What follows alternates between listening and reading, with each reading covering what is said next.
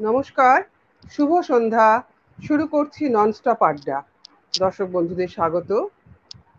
আজ আজ সন্ধ্যায় যথার্থই স্বপ্নের আড্ডা। সারা বিশ্বের অগণিত বাঙালি আবৃত্তি প্রেমী তার ভক্ত। আবৃত্তি শিল্প তার যাপন কলায় মিলেমিশে একাকার। স্বাগত আবৃত্তি শিল্পী সুমন্ত্র সেনগুপ্ত। সুমন্ত্র, তোমাকে স্বাগত। সত্যি মানে আমি কতদিন মানে কত মাস ধরে যে অপেক্ষা করছি যে সুমন্ত্রর সঙ্গে এই আড্ডাটা দেব। আমার মনে হয় শুরুটা একটা আবৃত্তি দিয়ে করাই সবচেয়ে ভালো। প্রথমে যেটা বল মানে দর্শকদের বলব সেটা হলো যে আমার যখন কাজকর্ম শুরু, আবৃত্তি নিয়ে কাজকর্ম শুরু, তখন অজন্তা দিয়ে আমাদের কাছে একটা সাংঘাতিক ব্যক্তিত্বময়ী এক সাংবাদিক প্রতিদিনে বসেন। এবং তার কাছে আমন্ত্রণপত্র নিয়ে গিয়ে তার টেবিলে দিয়ে অনুষ্ঠানটায় যদি একটু আসেন এবং যদি আপনাদের পত্রিকায় একটু সেটা নিয়ে একটু সমালোচনা দেখেন, এই যে যাওয়া, এই যাওয়াটা না খুব একটা রোমাঞ্চকর ছিল। মানে এখন পর্দায় এরকম হাসি খুশি একজন মানুষকে আপনারা দেখছেন কিন্তু যখন তিনি প্রতিদিনে বসতেন, তখন অজন্তাদি একদম অন্য মানুষ। এবং হয়তো এটা ঠিক যে ওই রকম চেয়ারে বসলে ওই রকম ব্যক্তিত্বের খুব প্রয়োজন হয় সেই মানুষটার সঙ্গে সেই সময় থেকে একটা দূরত্ব তো ছিলই, কিন্তু একটা খুব সম্ভ্রম ছিল। মানে যে যে সম্ভ্রমটা এখনও আছে আমার, যে পরে আরও ভালো করে মিশে দেখেছি যে উপরের যে আবরণটা অজন্তাদির সেটা সত্যিই আবরণ। ভেতরে একটা ভীষণ ভালোবাসতে পারার একটা অসাধারণ মন আছে। সেই মনটাকে আমি খুব শ্রদ্ধা করি। যে কারণে অজন্তাদি কিছু বললে আমি না করতে পারি না মানে কেউই হয়তো না করতে পারেন না। অজন্তাদি একটা ভীষণ খুব প্রিয় মানুষদের মধ্যে একজন মানে এটা এটা নিয়ে কোনো রকম আমি কোনো বানিয়ে কথা বলছি না, আমি বানিয়ে কথা বলতেও পারি না। ফলে অজন্তা দিয়ে আপনাকে আমার শ্রদ্ধা ভালোবাসা, প্রণাম সবটাই জানাই আপনাকে। কি কবিতা দিয়ে শুরু করব জানি না, তবে কবিতা যাপন করি তো মানে আক্ষরিক অর্থেই কবিতা যাপন করি, এটা নিয়ে কোনো সন্দেহ নেই। এবং সেটা কবিতাকে নিয়ে করি মানে পুরো জীবনের টুকরো টুকরো ঘটনাগুলোর সঙ্গেও আমি কোথাও এই শিল্পের সম্পর্ক খুঁজে পাই। আমি সেই কারণে একদম শুরু করব। আপনি শুরু করতে বলেছেন কবিতা দিয়ে। আল মাহমুদের একটি কবিতা, ছোট্ট কবিতা। এই কবিতা আমি খুব বিশ্বাস করি। কবিতাটি খুব অসাধারণ। প্রত্যেকেই জানেন কবিতাটি। কবিতা তো কৈশোরের স্মৃতি। সে তো ভেসে ওঠা ম্লান আমার মায়ের মুখ। পাতার আগুন ঘিরে রাত জাগা ছোট ভাই বোন আব্বার ফিরে আসা সাইকেলের ঘণ্টার ধ্বনি। রাবেয়া রাবেয়া, আমার মায়ের নামে খুলে যাওয়া দক্ষিণের ভেজানো কপাট। কবিতা তো ফিরে যাওয়া, পার হয়ে হাঁটু জল নদী। কুয়াশায় ঢাকা পথ, ভোরের আজান কিংবা নাড়ার দখন পিঠার পেটের ভাগে ফুলে ওঠা তিলের সৌরভ। মাছের আষ্টে গন্ধ, উঠোনে ছড়ানো জাল আর বাঁশ ঝাড়ে ঘাসে ঢাকা। দাদার কবর। কবিতা তো ছেচল্লিশে বেড়ে ওঠা অসুখী কিশোর। স্কুল পালানো সভা, স্বাধীনতা, মিছিল, নিশান, চতুর্দিকে হতবাক দাঙ্গার আগুনে নিঃস্ব হয়ে ফিরে আসা অগ্রজের কাতর বর্ণনা। কবিতা চরের পাখি কুড়নো হাসির ডিম গন্ধ ভরা ঘাস, ম্লান মুখ বউটির দড়ি ছেঁড়া হারানো বাছুর, গোপন চিঠির প্যাডে নীল খামে সাজানো অক্ষর, কবিতা তো মক্তবের মেয়ে, চুল খোলা আয়েশা তার আল মাহমুদের এই কবিতাটি আমার খুব প্রিয়। যে কবিতা সমস্ত কিছুর সঙ্গেই কবিতা জড়িয়ে থাকে। মানে এখানে একটি অজন্তা দিয়ে কি সুন্দর পংক্তি আছে যে, আব্বার ফিরে আসা সাইকেলের ঘণ্টার ধ্বনি, রাবেয়া রাবেয়া। এর পরের পংক্তিটি এত ইউনিভার্সাল যে, আমার মায়ের নামে খুলে যাওয়া দক্ষিণের ভেজানো কপাট আসলে প্রত্যেক সন্তানের ক্ষেত্রে এটা সত্য। আমরা প্রত্যেকেই তো সন্তান, কারও না কারও। এবং আমাদের মায়ের নামে আমাদের জীবনের দক্ষিণের দরজাগুলো সত্যিই খুলে যায়। একেবারেই তাই। মানে এবং মা এখানে শুধু যে মা আমাদের জন্ম দেন, সে মা নন, তারও মা আসলে একটা অনেক বড় শব্দ তো। মানে মানে প্রতীকী একটা শব্দ। মা আমরা জীবনে যাদের মায়ের যে স্নেহ, মমতা বা যে মা আমাদের যে শক্তি দেন, সেগুলো যাদের কাছে পাই, সেখানেই এই কবিতা সত্যি হয়ে ওঠে।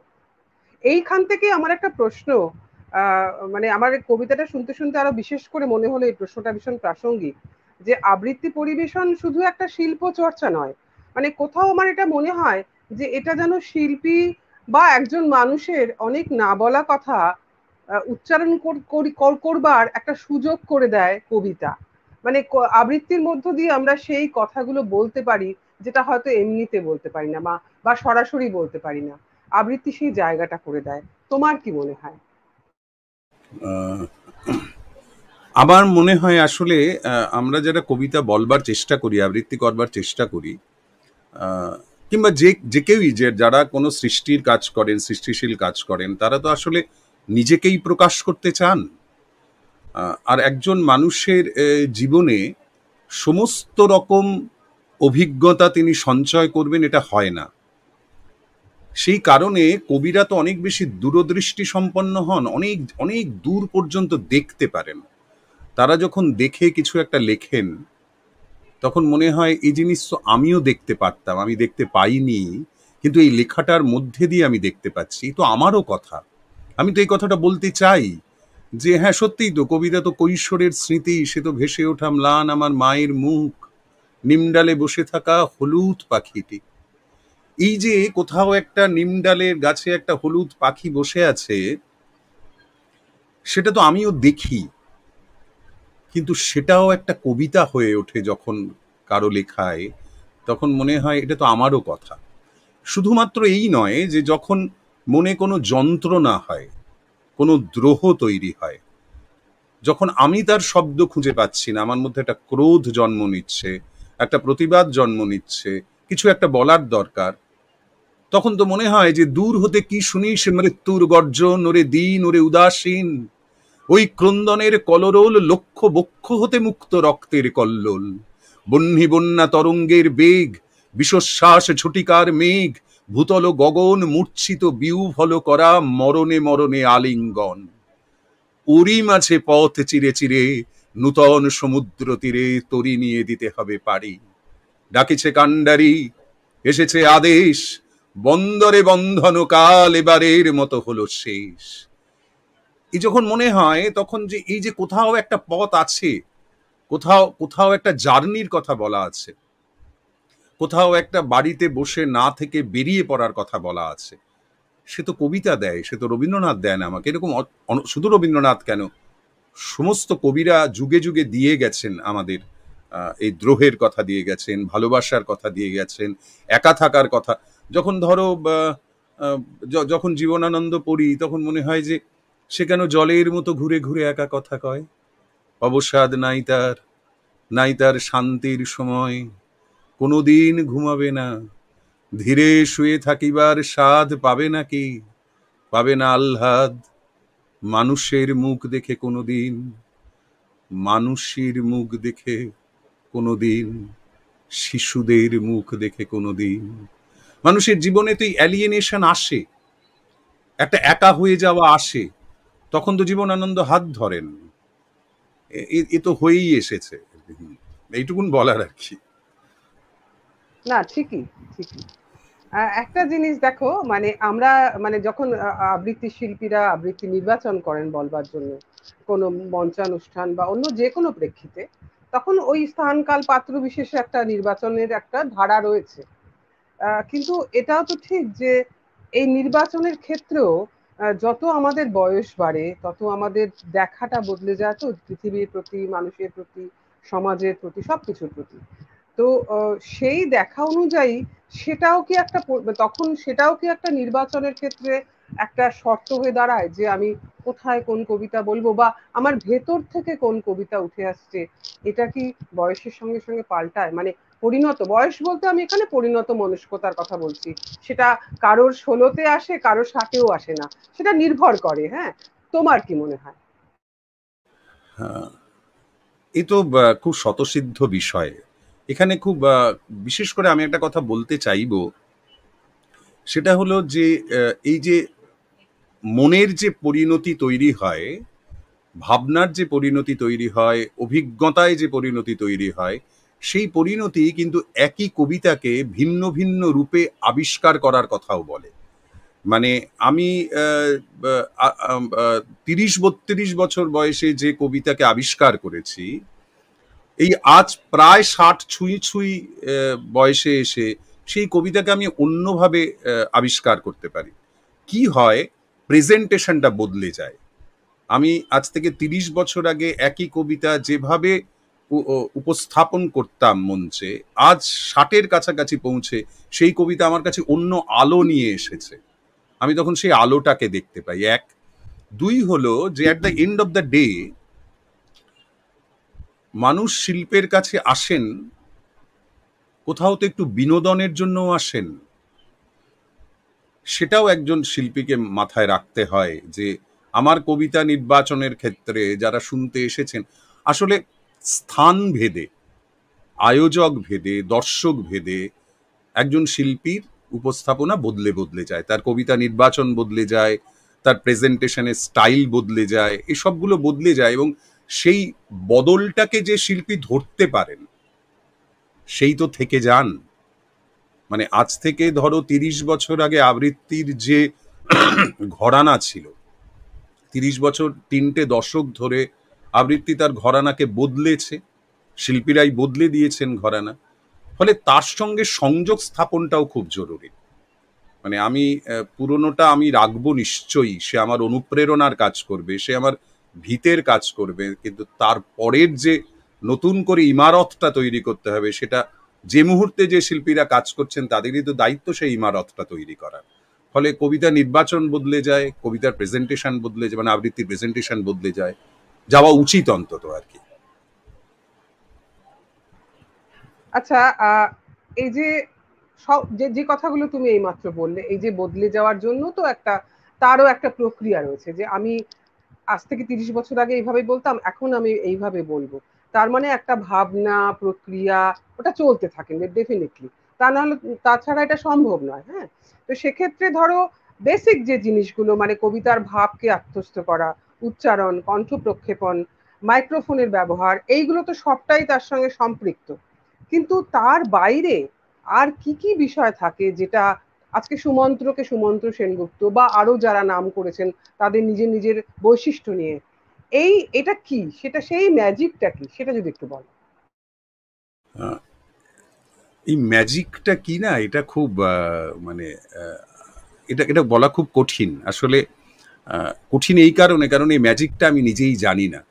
আমার কি হয় অজন্তাদি সেটা হলো যে অনেকে বলেন তারা খুব শ্রদ্ধেয় যে একটি গান সেটি যখন তৈরি হয়, তখন তার একটা নির্দিষ্ট চলন থাকে, সুরের চলন থাকে, যেভাবে একটি স্বরলিপি তৈরি হয় গানের।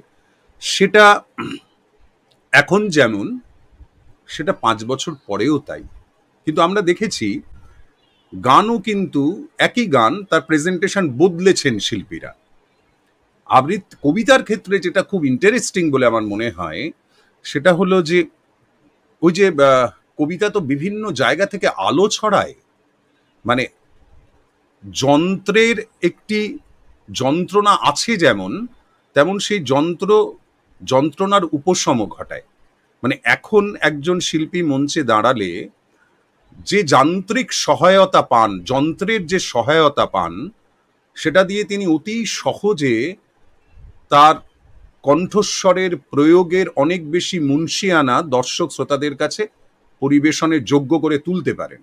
মানে আমি ভাবি যে যখন আমরা লং প্লেয়িং কিংবা ইপি রেকর্ড শুনতাম, তখন যেভাবে রেকর্ডিং হতো, সেই রেকর্ডিং এর সিস্টেম বদলাতে বদলাতে বদলাতে বদলাতে এখন শুনেছি কেউ গান গাইতে না পারলেও নাকি যন্ত্র তাকে সংগীত শিল্পী করে দিতে পারে। এখন এটা হয়তো একটা যন্ত্র না যে গান জানে না, তাকে যন্ত্র সংগীত শিল্পী করে দিচ্ছে। কিন্তু এর একটা সুবিধের দিক কি আছে যে আমি কণ্ঠস্বরের যে যে জায়গাগুলোকে প্রয়োগ করতে চাইছি, যন্ত্র সেটা ধরতে পারছে। অনেক ভালোভাবে ধরতে পারছে বিজ্ঞানের উন্নতির জন্য।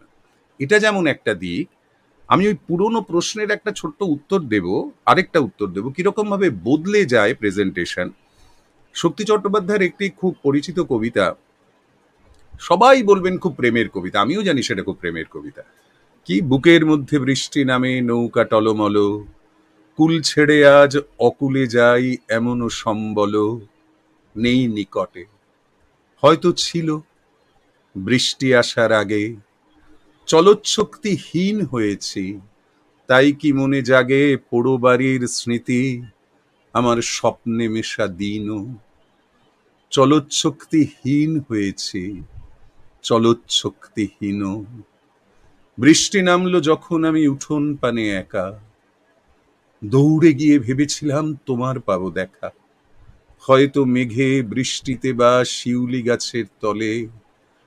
আজানু কেশে ভিজিয়ে নিচ্ছ আকাশে ছেঁচা জলে। কিন্তু তুমি নেই বাহিরে। অন্তরে মেঘ করে।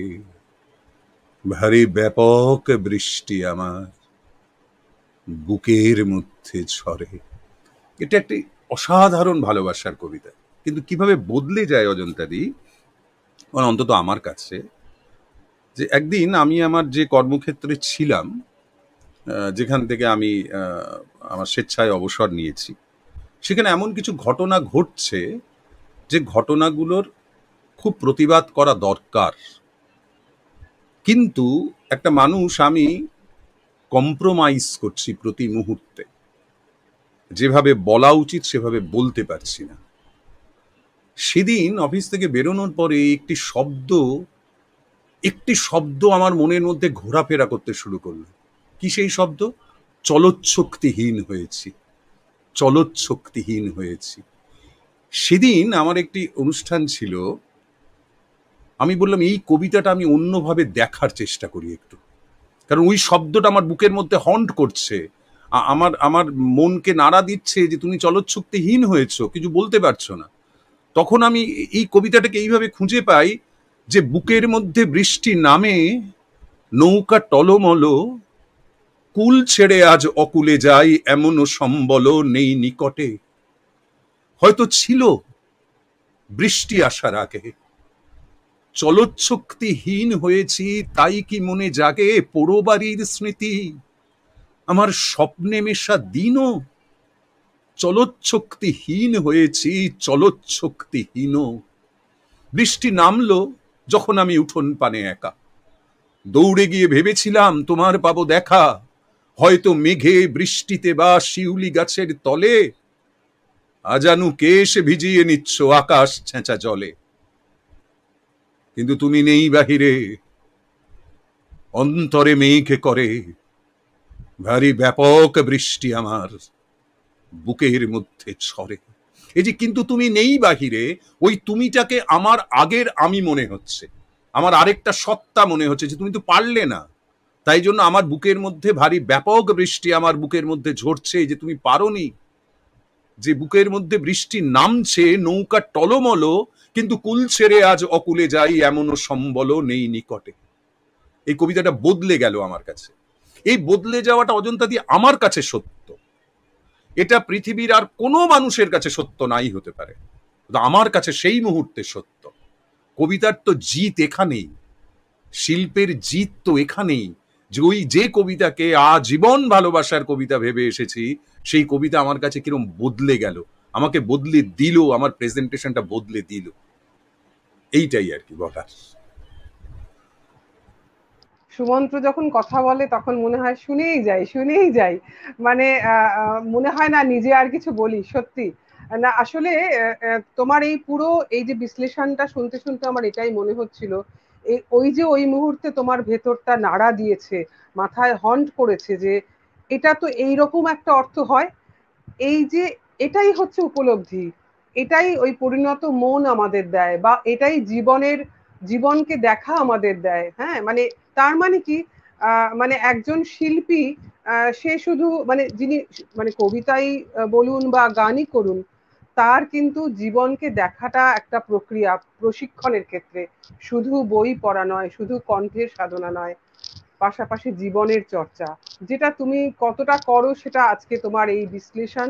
বা তোমার প্রতিদিনের বলায় লোকেরা নিশ্চয়ই বুঝতে পারে। কেন সুমন্ত্র সুমন্ত্র সেনগুপ্ত এবং কেন তার এত ভক্ত? এইটুকু সময়ের মধ্যে সেটা আমরা অনুভব করলাম। ভীষণ সমৃদ্ধ হচ্ছে সুমন্ত্র, বলাই বাহুল্য। এবার আবার একটু আবৃত্তি শুনতে ইচ্ছা করছে। এবার আমি বুঝতে পারছি, তোমার তো ঠিক ওইভাবে কবিতা বলব বলে কবিতা বলছো না। তোমার তো এসেই যাচ্ছে কবিতাগুলো, বলা আবৃত্তি এসেই যাচ্ছে। তা সত্ত্বেও একটু আলাদা করে একটা কিছু শুনতে চাই। যা খুশি, যেটা তোমার খুশি। হ্যাঁ আমি তো কথা বলতে বলতে কবিতার পংক্তি উচ্চারণ করছি। অমিতাভ দাশগুপ্ত, এটা খুব ভালো লাগা কবিতা আমার, ভীষণ ভালো লাগে এই কবিতাটি বলতে।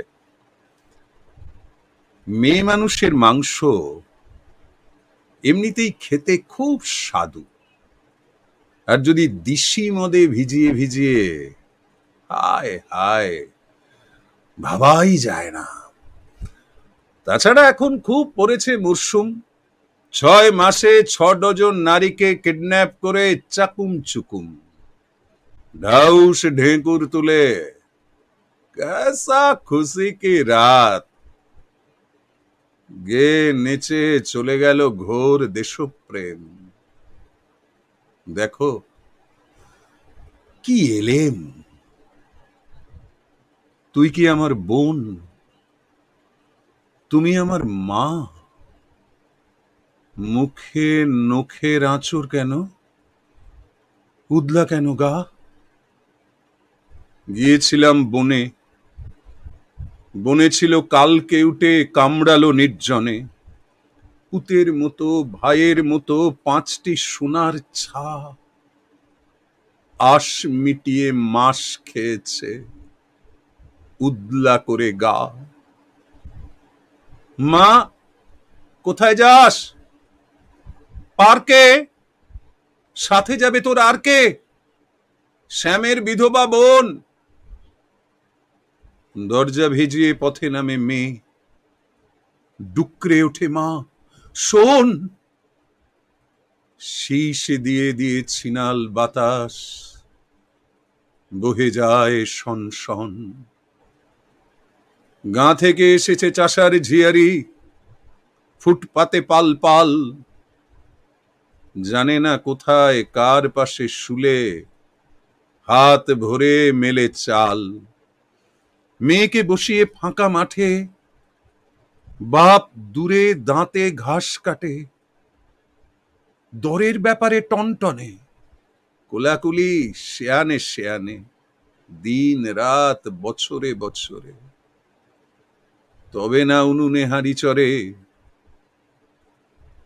তখন ধুধু রাত ছিটে বেড়ার ঘরের পাশে সাপের শীষের শব্দ। বোনের ঘরে গিয়েছিলাম। বোনের ঘর ফাঁকা। দিদির ঘরে গিয়েছিলাম। দিদির ঘর ফাঁকা।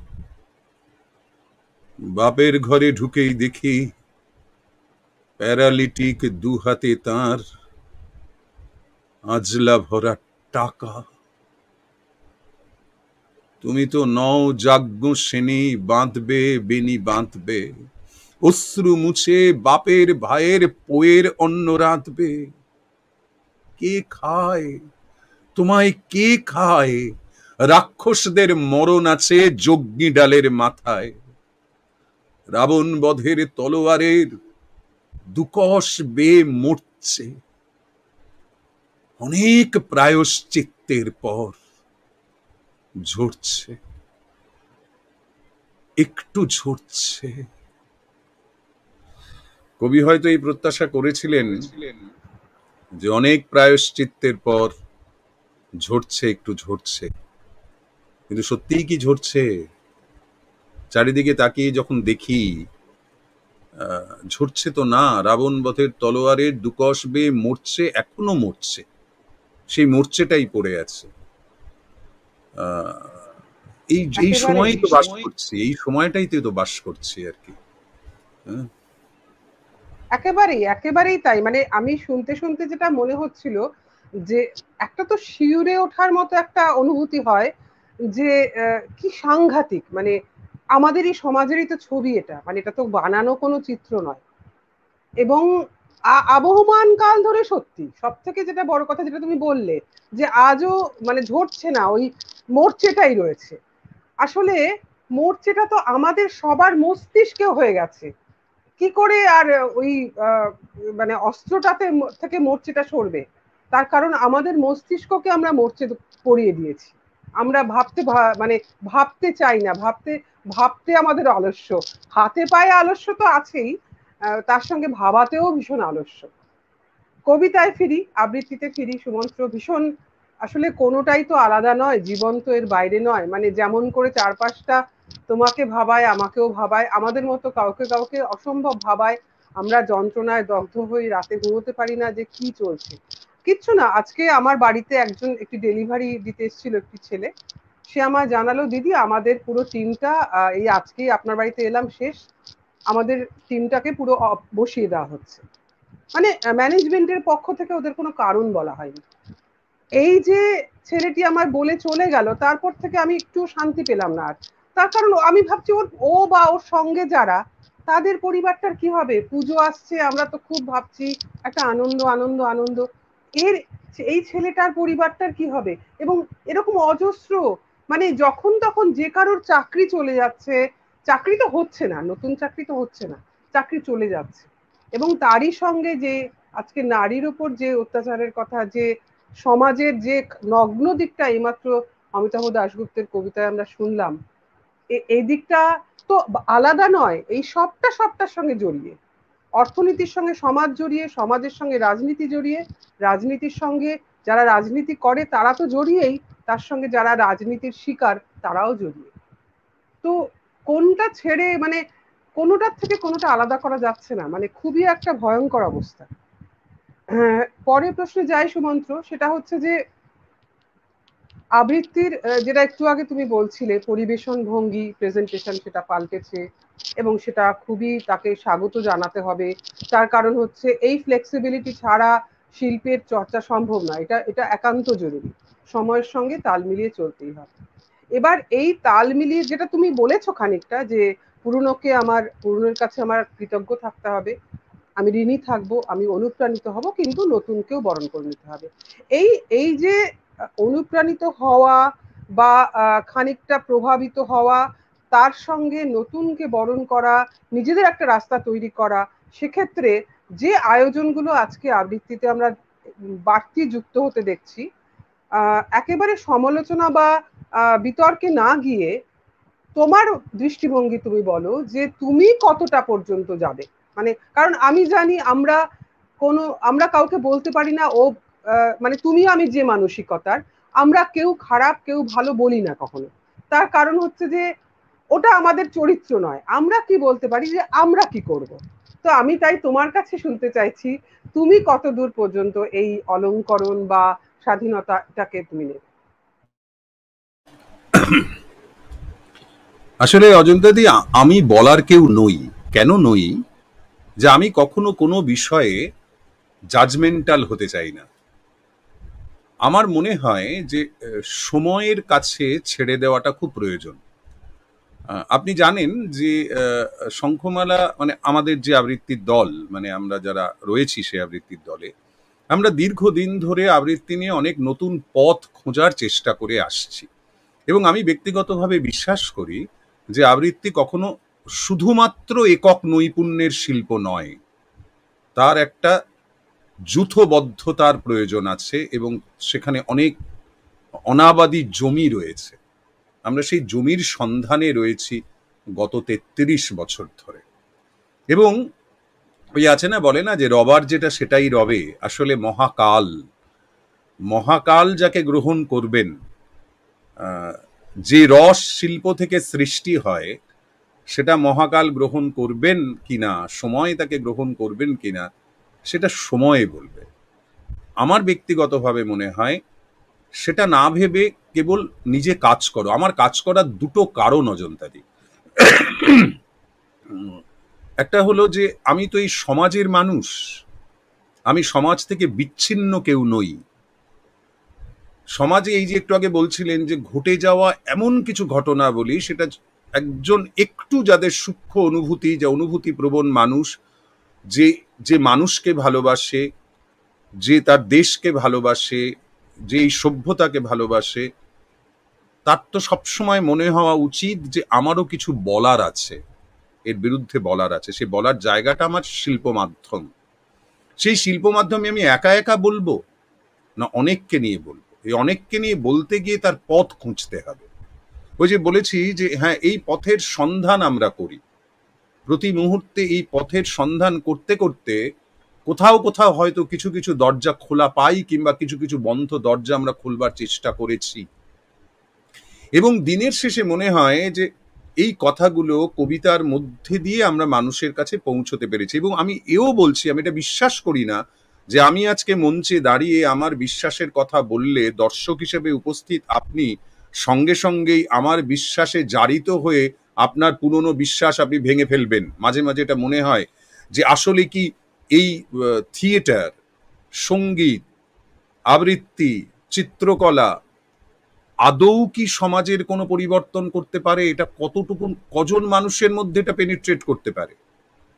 তাহলে এটা তো বলতে কোনো অসুবিধে নেই যে তাই যদি হবে, তাহলে দু সালে প্রশাসনের সঙ্গে যুক্ত মানুষের বাড়ির দরজা খুলে কেন এত টাকা পাওয়া যাবে?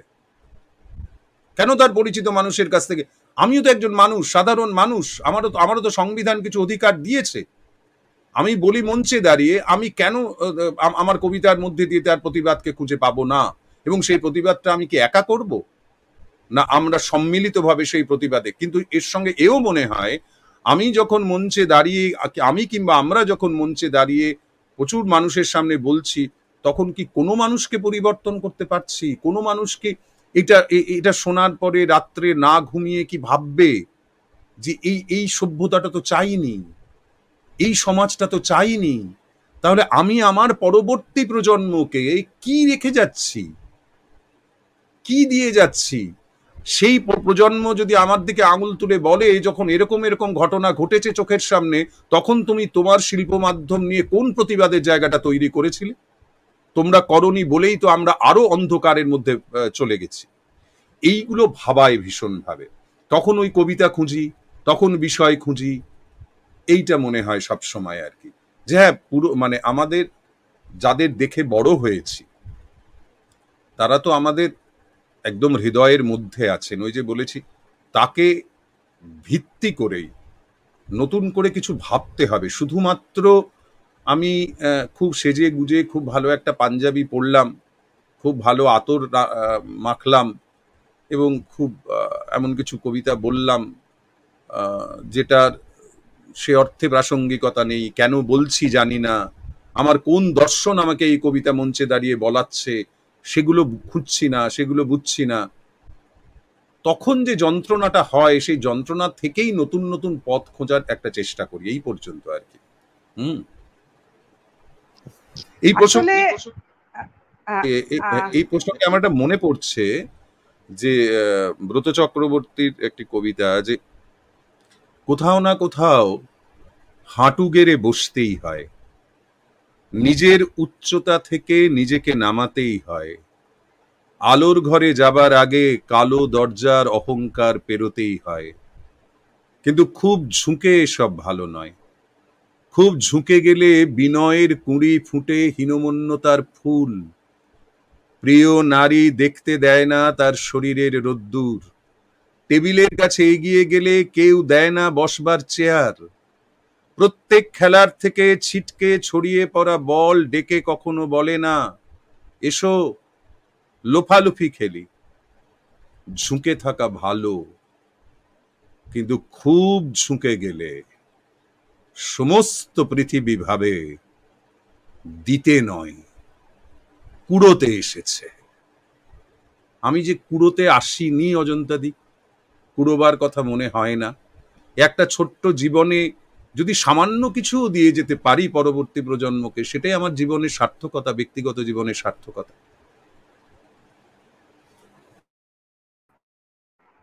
সেটাই মানে এই এই যে তুমি যা বলছো, সেটা কবিতার উচ্চারণেই বলো বা এমনি বক্তব্য রাখো, পুরোটাই কিন্তু কনভিকশন থেকে, তুমি কিন্তু এটা বিশ্বাস করো।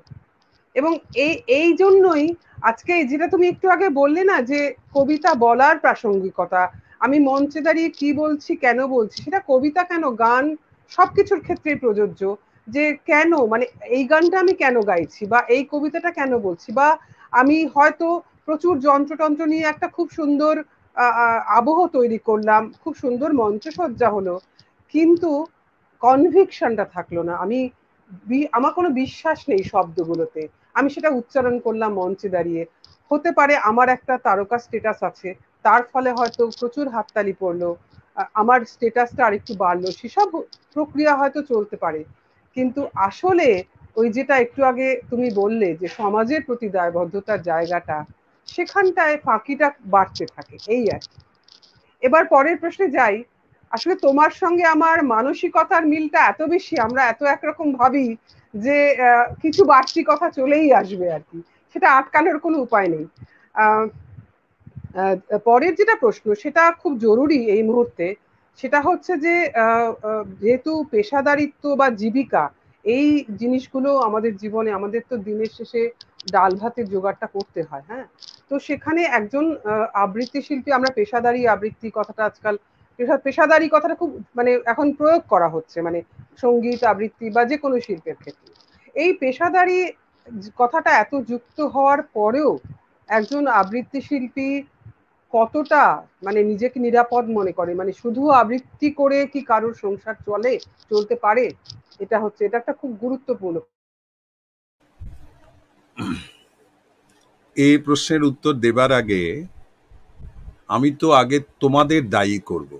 মানে তোমাদের কাদের? যে তোমরা যারা সংবাদ মাধ্যমে দীর্ঘ দিন কাজ করেছ তারাও কিন্তু কখনো ভাবনি যে একজন সংগীত শিল্পী কিংবা একজন অভিনেতা কিংবা একটা থিয়েটারের দল, মানুষকে যে আনন্দ দিতে পারেন, একজন আবৃত্তি শিল্পীও সেটা পারেন। কিন্তু তোমরা একজন, দুজন বাদে কাউকে কখনো গুরুত্ব দাওনি। এই কথাটা তোমাদের মেনে নিতে হবে। মানে আমরা তো জানি যে মানে খুব অদ্ভুত বিষয় আমার মাঝে মাঝে মনে হয় যে অনেকে বলেন, দেখা হলো রাস্তায় তিনি হয়তো আবৃত্তির খুব খোঁজ খবর রাখেন না, কিন্তু তিনি টিভিটা দেখেন। তিনি হয়তো খবরের কাগজটা উল্টান। তিনি হয়তো বলেন যে অনেক দিন তো তোকে টিভিতে দেখি না কোনো অনুষ্ঠানে, তুই কি আর কবিতা বলিস না? তার মানে এই যে সারাটা সময় ধরে আবৃত্তি নিয়ে আছি, শুধু টিভিতে মুখটা দেখি না বলে মানুষের সংশয় তৈরি হয়, আমি কি আদৌ বলছি? এই জায়গাটা যদি ধরি, তাহলে সংবাদ মাধ্যম কেবলমাত্র খুঁজে খুঁজে আবৃত্তির একজন দুজনকে গুরুত্ব দিয়েছেন। এই গুরুত্বটা যদি এই শিল্প মাধ্যমকে দিতেন, একজন দুজন শিল্পীকে না দিয়ে শিল্প মাধ্যমকে দিতেন, তাহলে এই শিল্প মাধ্যমকে ধরে কিছু মানুষ রুটি রুচি ব্যবস্থা করতে পারতেন। এখন আগের থেকে সময়ের অনেক পরিবর্তন হয়েছে। এই যে অজন্তা দিয়ে আমরা যাদের দেখে বড় হয়েছি, প্রদীপ ঘোষ গৌরীদি গৌরী ঘোষ, পার্থ ঘোষ নীলাদ্রিদা অকালে চলে গেছেন। এদের কিন্তু প্রত্যেককেই চাকরি করতে হয়েছে। চাকরি করার পরে তারা শিল্প নিয়ে কাজ করেছেন। এর পরবর্তী সময় যারা এসেছেন, তার মধ্যে একমাত্র ব্রততী বন্দ্যোপাধ্যায়, যিনি এটাকে সম্পূর্ণ পেশা রূপে গ্রহণ করেছেন এবং ভীষণ সফলভাবে খুব জনপ্রিয় একজন শিল্পী, তিনি সেটাকে প্রমাণ করেছেন যে এই শিল্প মাধ্যমকে ধরে পেশাগত দিক থেকেও নিজেকে ঠিক অবস্থানে রাখা যায়। কিন্তু আমার আমি আমি যে পরবর্তী প্রজন্মকে দেখি, তারা ভীষণ সন্দিহান। কেন? আমার দলে তো প্রচুর ছেলে মেয়ে আছে। এরকম অনেক ছেলে মেয়ে আছে যারা ভীষণ ভালো লেখাপড়ায়, আবার আবৃত্তিটাও খুব ভালোবেসে করে, বুঝে করার চেষ্টা করে। কিন্তু তারা সেই বিশ্বাসটা করতে পারে না যে এই শিল্প মাধ্যমকে ধরে থাকলে আমি আমার জন্য রুটি ডালের ব্যবস্থা করতে পারব। আমার অবসরপ্রাপ্ত বাবা এবং মায়ের জন্য ব্যবস্থা করতে পারব এবং আমার স্ত্রীর জন্য ব্যবস্থা করতে পারব। এই বিশ্বাসটা এই শিল্প এখনও দিতে পারেনি। তবে আশা করব যে ওই মহাপ্রলয়ের পরে বৈরাগ্যের মেঘমুক্ত আকাশে আবৃত্তির ইতিহাসের একটি নির্মল আত্মপ্রকাশ হয়তো আরম্ভ হবে। না হলে কাজ করব কি করে? না হলে পরবর্তী বয়স ছেলে মেয়েদের বলব কি করে? যে এটা নিয়ে কাজ করতে হবে। হ্যাঁ পেশাগত দিক থেকে, তবে এই যে আমি বলি যে আমি আমার চার বছর আগে আমার যে অবসরের যে নির্দিষ্ট সময় ছিল তার চার বছর আগে আমি স্বেচ্ছায় অবসর নিতে পেরেছি। সেটার কারণ কিন্তু আমি আবৃত্তি করে কিছু উপার্জন করি। সেই উপার্জন করে আমার সন্তান, আমার স্ত্রী, আমার মা, তারা একটু ভয়ও পেয়েছিলেন যে কি হবে, তুমি চাকরিটা, আর আমরা সবাই জানি যে চাকরি জীবনের শেষ দিকেই মাইনে করিটা অর্থটা একটু বেশি হয়, সবারই আসে, কারণ অনেক দিন চাকরি হয়ে যাওয়ার পরে। কিন্তু আবৃত্তি তো আমাকে অনেকটা দিয়েছে, অজন্তা অনেকটা দিয়েছে মানে পেশাগত দিক থেকেও অনেকটা দিয়েছে। এই যে তোমাদের সাথে যে পরিচয়, এটা তো আমি আবৃত্তি না করলে পেতাম না। এত মানুষের সঙ্গে আমার পরিচয় ঘটেছে শিল্পের মাধ্যমে। তবে আশা করব নিশ্চিতভাবে আমরা যতই চিৎকার করি, বলি, যে সেই বেদের সময় থেকে যখন শুনে শুনে লোক কবি মুখস্থ রাখত শ্লোক, তখন থেকে আবৃত্তির জন্ম। আসলে তখন থেকে আবৃত্তির জন্ম আমরা দাবি করি। কিন্তু শিল্প হিসেবে আবৃত্তি শিল্পী, এর আবৃত্তি শিল্পী, এর ইতিহাস তো বেশি দিনের নয়। এই ইতিহাসটা একটু গেলে নিশ্চিতভাবে এমন একটা সময় আসবে, যখন এই শিল্প মাধ্যমকে আঁকড়ে ধরেও মানুষ জীবিকা অর্জন করতে পারবেন ধরো রবীন্দ্রনাথের গান যারা গেয়েছেন এক সময়, তার মধ্যে জনপ্রিয়তার দিক থেকে দেবব্রত বিশ্বাসের তো কোনো তুলনাই হয় না। তাকেও তো এলআইসিতে চাকরি করতে হয়েছে, তাই না? ফলে এখন অনেক সংগীত শিল্পীকে চাকরি করতে হয় না। এক সময় আসবে আবৃত্তি শিল্পীদেরও শুধু এই শিল্প করেই তাদের জীবিকা অর্জন তারা করতে পারবে বলে আমার বিশ্বাস। কারণ এই শিল্পটাকে আমি এত ভালোবাসি আমার মনে হয় এর এত এত এত সম্ভাবনা আছে এত সম্ভাবনা আছে সেই সম্ভাবনার খোঁজ নিয়ে আমাদের পরবর্তী প্রজন্ম নিশ্চিতভাবে কেবল পেশায় এই শিল্পকে নিতে পারবে এবং যখন পেশায় নিতে পারবে তখন এই শিল্পের আরও উন্নতি হবে। ঠিকই মানে এটাই সব না এটাই সবচেয়ে বিজ্ঞান মানে বৈজ্ঞানিক যুক্তি যে যত বেশি পেশাদারিত্ব বাড়বে এবং যত বেশি ছেলে মেয়ে নতুন ছেলেমেয়েরা এটাকে পেশা করতে পারবে, ততই আবৃত্তির যে পুরো ব্যাপারটা, আবৃত্তিকে ঘিরে মানে যে শিল্পের যে চর্চাটা, সেটারও আরও বেশি উৎকর্ষতা বাড়বে। সেটা খুব স্বাভাবিক। তার কারণ ওই যে দিনের শেষে ডাল ভাতের জোগাড়টা, আমার যদি আজকে ধরো আমি বলছি, আমি আমার একেবারে ছোটবেলা থেকে আমি গানই শিখেছিলাম। কিন্তু আমি সঙ্গীতকে পেশা হিসেবে নেওয়ার সাহস পাইনি, আমাকে একটা চাকরি করতে হয়েছে। এইবার এটা একটা দুঃখ তো থাকে যে মনে হয় যেন যদি শুধু গানটাই গাইতে পারতাম। আবার অনেকেই বলে, গান বাজনার বন্ধু বান্ধবরাও বলে যে, না না, খুব ভালো করেছ। এই যে ব্যাপারগুলো, এই যে সংশয়গুলো, এগুলো এগুলো তো চলবে, যতক্ষণ না ব্যাপারটা একটা সত্যিকারের পেশাদারি চেহারা পাবে। আর আরেকটা কথা একটু বলার পরের প্রশ্নে যাওয়ার আগে, তুমি আমি একটা কথা এই এই প্রসঙ্গে বলতে চাই, এই যে তুমি তুমি খুব ভালো গান গাও, এটা আমি নিজেও শুনেছি এবং সেটাকে পেশা না করে তুমি সাংবাদিকতা পেশা নিয়েছিলে। আসলে আমাদের মধ্যে না একটা খুব এমন একটা ইনস্টিংক্ট ছোটবেলা থেকে তৈরি করে দেওয়া হয় যে নিশ্চিত জীবনের দিকে ছোট, অনিশ্চিত জীবনের দিকে যেও না। এই যে একটা মানুষকে গান গেয়ে জীবিকা অর্জন করতে গেলে তাকে যে প্রতি মুহূর্তে স্ট্রাগল করতে হবে, তার নিজের পরিচিতির মান বজায় রাখার জন্যে প্রতি মুহূর্তে তার যে সংগ্রাম, একটা চাকরি করলে তো সেই অনিশ্চয়তাটা থাকে না যে এখন অবশ্য তৈরি হচ্ছে, এখন এই এই যে শুনলাম যে বাড়িতে এসে যারা ডেলিভারি বয় তাদের বলছে কালকে থেকে চাকরি নেই, সেদিকেও চলে যাচ্ছে ঠিকই। তবে ওই নিশ্চিত জীবনের দিকে ছোটার আমাদের একটা যে প্রবণতা, সেটাও এটার পেছনে দায়ী আর কি। না, একেবারেই তাই। তবে আমার তো সংবাদ মাধ্যমে আসাটাও খুব অ্যাক্সিডেন্টাল আমি তো সাংবাদিকতার, আমার পরিবারেও আশেপাশে কেউ ছিল না, বা আমার নিজেও, আমি নিজেও কখনো সাংবাদিক হব ভাবিনি। সেটাও একটা কার্যকারণ। যাই হোক, তবে সংবাদ মাধ্যমের প্রতি তোমার যে অভিযোগটা, সেটা আমি সম্পূর্ণভাবে মাথা পেতে নিলাম। কিন্তু কয়েকটা কথা এ প্রসঙ্গে বলা দরকার। আমাদের দর্শক বন্ধুরাও এটা জানা দরকার। কোনো একজন সাংবাদিক কিন্তু ঠিক করেন না যে তিনি কোন শিল্প বা কোন মানুষ বা কোন বিষয়কে গুরুত্ব দেবেন। এটা একদম একটা এডিটোরিয়াল পলিসি বলে একটা জিনিস আছে। একটা মানে পুরো পুরো মানে ম্যানেজমেন্ট এবং এডিটোরিয়ালের ক্ষেত্রে যারা মাথার উপরে থাকেন, তারা স্থির করেন। সেটা আজকের সময় নয়, আজ থেকে ধরো কুড়ি বছর আগে থেকেই মানে আমি যখন থেকে এসেছি তখন থেকেই দেখেছি যে সেটা একদম স্থির হয় পুরো একটা বাণিজ্যিক জায়গা থেকে। তার কারণ সংবাদ মাধ্যম এখন একটা কর্পোরেট ব্যবসা ছাড়া আর কিছু নয়। সেখানে কোনো দায়ের আর কোনো জায়গায় নেই।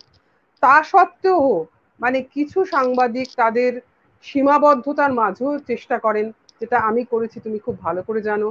তোমাদের কথা ছেড়ে দাও, তোমরা তো অত্যন্ত গুণী, তোমাদেরকে আলোকিত করলে আমি আলোকিত হব। আমি এটা মনে করতাম।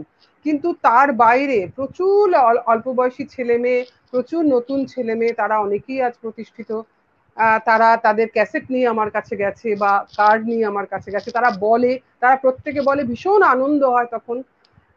এবং লড়াই করতে হয়েছে সেটার জন্য ম্যানেজমেন্টের সঙ্গে। আমি লড়াইটা কি করতাম, আমি কি বলতাম? আমি বলতাম এক কি হবে? এর তো কোনো, মোটামুটি হয়তো সে মোটামুটি গায় বা মোটামুটি আবৃত্তি করে, মোটামুটি। সে, তার কোনো, সে খুব বড় যে সম্ভাবনাময় সেটা নয়।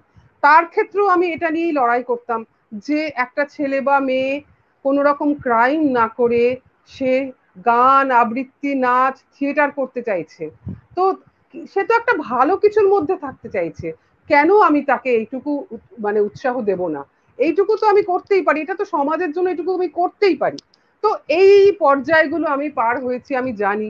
মানে এইটা মনে হয় আমার মতো যারা মানে সংবাদ মাধ্যমে চাকরি করে, অথচ সাংবাদিক, তারা প্রতিষ্ঠিত হয়তো, কিন্তু তারা অনেক কিছুই নিজেদের খুশি মতো করতে পারে না।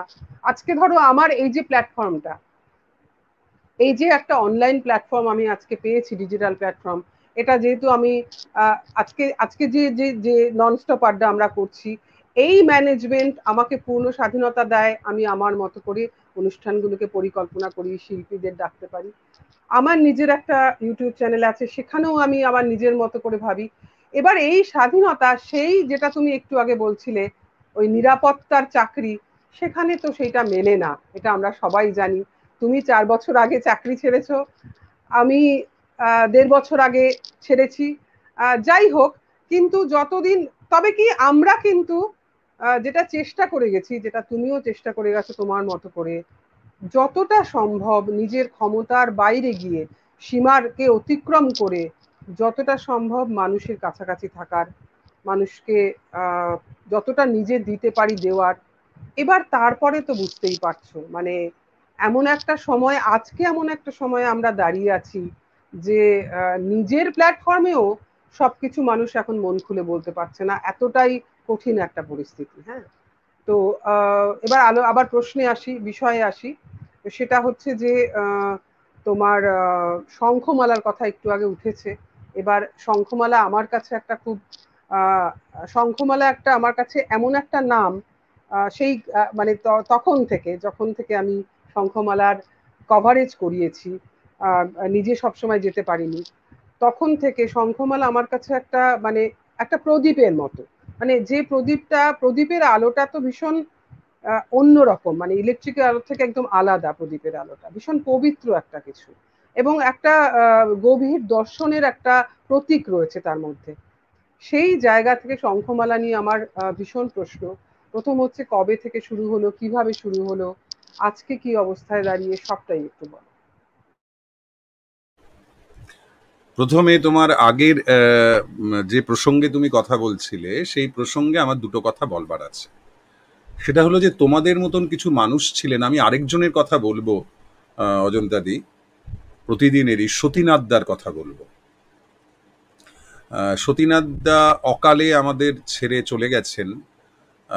সতীনাথদাও আমাদের এই প্রতিদিনের সংস্কৃতি পাতাটা দেখতেন। এই যে বলছি না, তুমি সতীনাথদা এদের এদের খুব স্নেহ পেয়েছি। মানে এখন যদি আমাকে দশটা লোক চেনেন, তখন আমাকে হয়তো দুটো লোক চিনতেন আবৃত্তি করি বলে।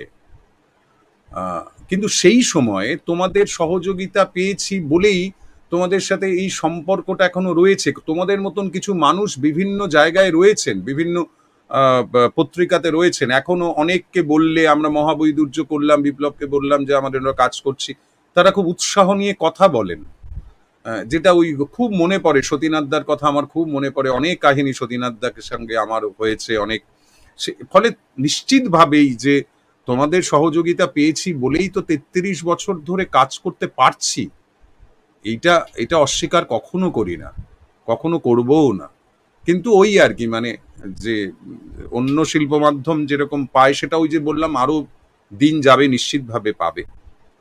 হ্যাঁ শঙ্খমালাটা আমার খুব কি বলব, একটা এমন একটা জায়গা যেটা যেটা ছাড়া আমার জীবন একেবারেই অসম্পূর্ণ। আমরা বহু ছেলে মেয়ে একসঙ্গে চর্চা করি এবং তেত্রিশ বছর অতিক্রম করল এবং শঙ্খমালা সবসময় বিশ্বাস করে এসেছে যে আবৃত্তি শিল্পে যুথবদ্ধ হয়ে কাজ করবার একটা বড় ক্ষেত্র আছে। আমরা একের পর এরকম প্রযোজনা করেছি। আমরা প্রথম পার্থ করেছি, তপস্বী তরঙ্গিনী করেছি এক নিরুপম যাত্রা করেছি, সোনোয়ে মৃতের গল্প বলে একটা, আমরা সোনোয়ে মৃতের, এক নিরুপম যাত্রা এবং সোনোয়ে মৃতের গল্প আমাদের একটা দুটো ভীষণ ইউনিক কাজ ছিল।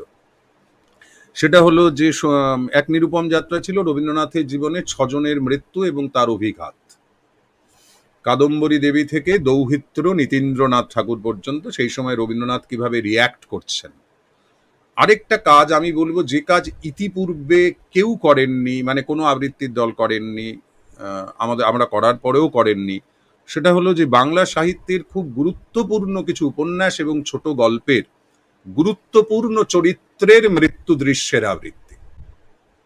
তার বর্ণনা মানে আরোগ্য নিকেতনের জীবন মশাই মারা যাচ্ছেন যে সময়, পথের পাঁচালীর দুর্গা যে সময় মারা যাচ্ছেন, অভাগীর স্বর্গ এরকম আমরা পুতুল নাচের ইতিকথা এরকম জায়গা থেকে আমরা বিষয় বেছেছিলাম।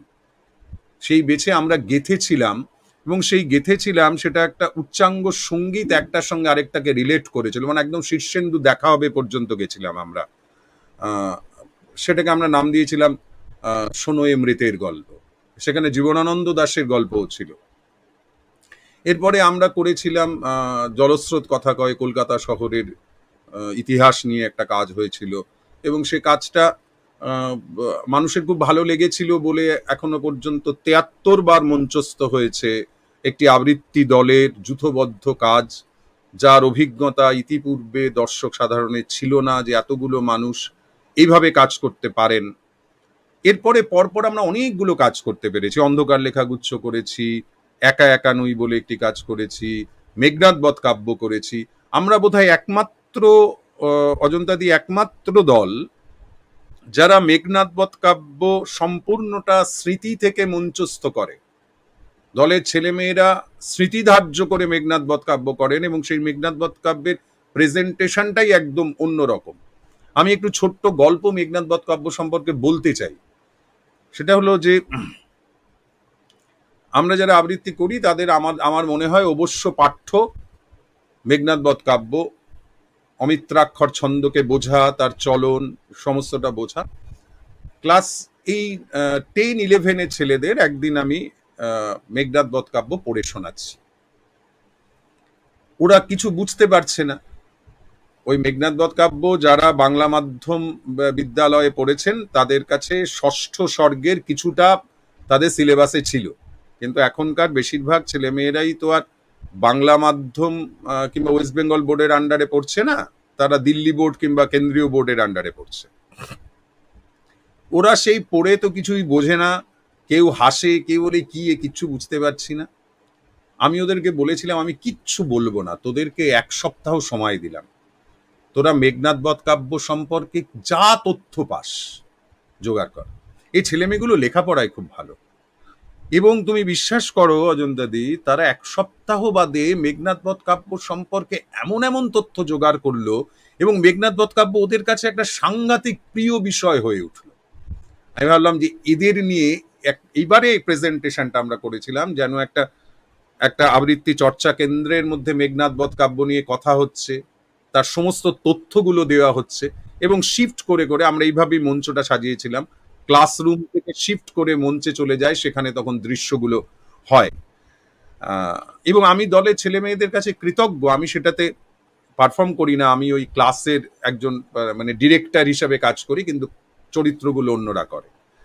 এবং ওরা যে মুন্সিয়ানা দিয়ে মেঘনাথ বধ কাব্য করেছে, সেটা আমার কাছে খুব মানে আমি যদি খুব একা একা আবৃত্তি করতে ভালোবাসতাম, আমার যদি মনে হতো যে এই আবৃত্তি শুধু একা একা করব তাহলে একটা মেঘনাথ বধ কাব্য আমরা করতে পারতাম না। তাহলে একটা জলস্রোত কথা কয় করতে পারতাম না। তাহলে একটা অন্ধকার লেখাগুচ্ছ করতে পারতাম না। তাহলে হয়তো মহাবৈদুর্যও করতে পারতাম না। মহাবৈদুর্যে সাতাশ জন অন স্টেজ থাকে আর কি। হ্যাঁ ফলে করছি। লোকে সমালোচনা করছেন যে শঙ্খমালা ক্রমশ থিয়েট্রিক্যাল হয়ে যাচ্ছে। আবৃত্তির শুদ্ধতা নষ্ট হচ্ছে। আসলে কোনো শিল্পের কি শুদ্ধ কি অশুদ্ধ এই ব্যাপারে আমার কোনো ধারণাই নেই। আমি তা খোঁজারও চেষ্টা করি না। এই আর কি আমরা সেটা নাম দিয়েছি শ্রুতিগাথা। এইভাবে শঙ্খমালাকে নিয়ে কাজ করছি একসাথে থাকি একসাথে বেড়াতে যাই হই হই করি। আমি একটু বেশি কথা বলে ফেলছি বোধ হয় অজন্তাদি কথা কথা তো শুনতেই হবে কথা না শুনলে কি করে হবে? আমার খালি একটা ছোট্ট অনুরোধ এই যেগুলোর নাম তুমি বললে তার কোনো একটা থেকে একটুখানি যদি শোনাও আমাদের। ধরো জলস্রোত কথা কয়তে আমরা কলকাতা শহরকে নিয়ে কাজ করেছিলাম। কলকাতা শহরের ইতিহাস নিয়ে কাজ করেছিলাম। সেখানে এরকম আছে সেখানে মানে প্রচুর কিছু আছে। মানে একদম জোপচারনকের আগের কলকাতা থেকে মানে শুরু হয় যে মুলাজোর, গারুলিয়া, বাহিল, সত্তর, পশ্চিমে পাইক পাড়া, রহে ভদ্রেশ্বর, চাপদানি ডাহিনে, বামে ইছাপুর, বাহ বাহ বলে রাজা ডাকিছে প্রচুর। এইভাবে একটা ওই ওই পাঁচালির ঢঙে একটা বলে, একটা সবাই মিলে বলে শুরু হয়, জলস্রোত কথা কয়, শুনো দিয়া মন। তারপরে হয় বলা এরকম যে চারনক যখন শায়স্তা খার তারা খেয়ে পালিয়েছিলেন, সুতানুটি থেকে হিজলি হিজলি থেকে উলুবেড়িয়া তারপর বালেশ্বর, চট্টগ্রাম। চারনক যখন মগ্ন ছিলেন, দাঙ্গা, লুটতরাজ, কুঠি গড়ার চেষ্টা, লাভের করি ঘরে তোলা রানঘাট আর পাঞ্চারকের নেশায়। তখন কি শুধু গাছ জন্মাতো সুতানুটির জঙ্গলে? মানুষ জন্মায়নি কোনো? সৎকার হয়নি সবের? হাঁটুরে লোকেরা ভিড় জমায়নি বাজারে? ব্যবসা করেনি বাঙালি আর পর্তুগিজরা? মাছ ধরেনি জেলে? তাঁতির ঘরে ওঠেনি মাকুর শব্দ? কাছাড়ি বাড়িতে পুণ্যাহ হয়নি হয়নি ব্রত পার্বণ সতীদাহ, ঘরামিরা বানায়নি ঘর। যদি নাই বানাবে, তাহলে চারনক ফিরে আসার পর ফিরিঙ্গিরা থাকবে বলে কারা হাতে হাতে গড়ে দিয়েছিল মেটে বাড়িগুলো? কোন হাট থেকে উঠে এসেছিল ফিরিঙ্গিদের খোরাক? কোন চিতা থেকে উঠে এসেছিল তাদের কৃষ্ণাঙ্গী রক্ষিতারা? সাবর্ণদের কাছারি বাড়িটা যদি নাই থাকতো, তাহলে কোথায় রাখা হতো দলিল, দস্তাবেজ, ইব্রাহিম খার সনদ, পত্তনির হলদে কাগজ? চার্নক যখন নিমতলায় বসে গড়গড়ি টানছেন উশৃঙ্খল লম্পট, মাতাল ছাড়া আর কোনো প্রশংসা বাক্য কি উচ্চারণ করেছিল কোম্পানির মাদ্রাজি মাথারা? তিনি কি বানিয়েছিলেন কোনো হদ্ম? সবাই মিলে বলে, না। কোনো পথ? না। কোনো গির্জা? পত্তনি নিয়েছিলেন সুচগ্র জমি? এসব কিছুই না করে ষোলোশো এর অগস্টে তিনি প্রতিষ্ঠা করলেন কলকাতা। একটা জনপদকে জনপদ বানালেন নতুন করে। মানুষ করলেন মানুষদের। চড়কের গুণ ফোটানো সিদ্ধারাগুলো ছাপিয়ে উঠল চারনকের বৃষস্কন্ধ তার নীল চোখ রঙিন করে দিল ইতিহাস বই। বঙ্কিম সঠিক বলিয়াছেন, সাহেবরা যদি পাখি মারিতে যান তাহার ইতিহাস লিখিত হয়। কিন্তু বাঙ্গালার কোনো ইতিহাস নাই। ছি ছি। হায় বেচারা। এইভাবে শুরু হয় যে কলকাতা শহর জোপচার্নক বানিয়েছিলেন, এটাকে অস্বীকার করে আমরা শুরু করি। যে তখনও মানুষ ছিলেন। ওই যে বলছে যে ঘরামিরা বানায়নি ঘর। ফিরিঙ্গিরা থাকবে বলে কারা হাতে হাতে গড়ে দিয়েছিল মেটে বাড়িগুলো? কোন হাট থেকে উঠে এসেছিল ফিরিঙ্গিদের খোরাক? কোন চিতা থেকে উঠেছিল উঠে এসেছিল কৃষ্ণাঙ্গী রক্ষিতারা? সাবর্ণদের কাছারি বাড়িটা যদি নাই থাকতো, তাহলে কোথায় রাখা হতো দলিল দস্তাবেজ? ইব্রাহিম খার সনদ পত্তনির হলদে কাগজ?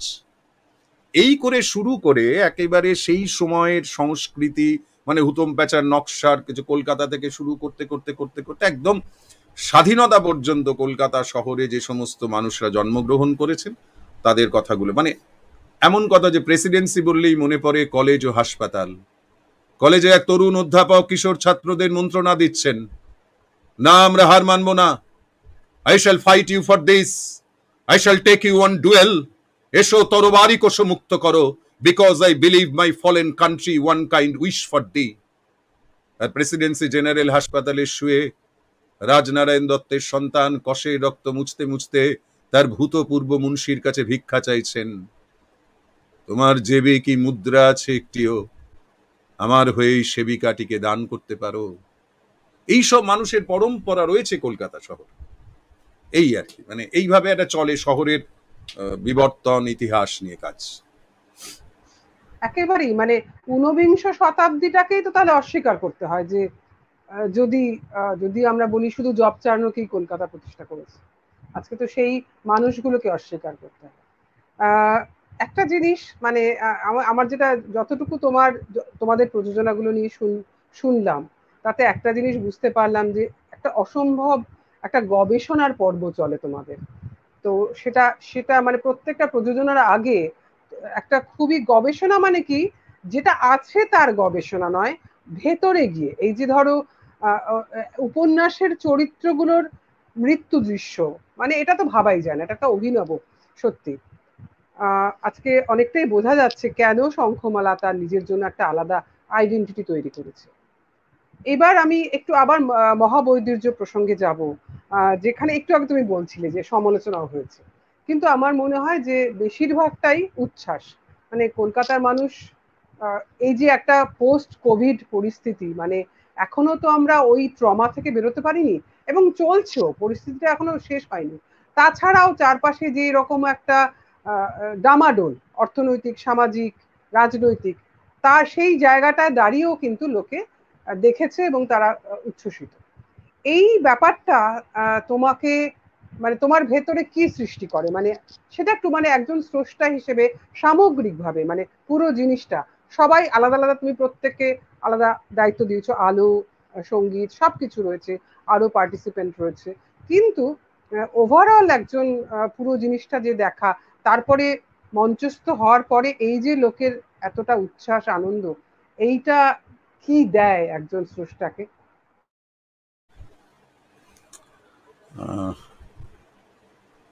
পরের বার মঞ্চস্থ করার জন্য উৎসাহিত করে এটা করে। এবং ওই যে বলছি যে ওই যে শুরুতে কথা হচ্ছিল না, বয়স বয়স শুধু নয়, অভিজ্ঞতা একটা মানুষকে অনেক পরিণত করে। আমরা মহাবৈদুর্য অমিতাভ কাঞ্জিলাল ও লিখেছিল মানে যখন ওই করোনাটা চলছিল তখন তো ওই বাড়িতে বসে আছি, কাজ হচ্ছে না মানে বসে আমরা শঙ্খমালার ঘর গেরস্তালি স্ট্রিমিয়ার্ডে করতাম। খুব একটা ভীষণ একটা, যা হয়, সবার যা হয়েছে আমার মধ্যেও তাই হয়েছে।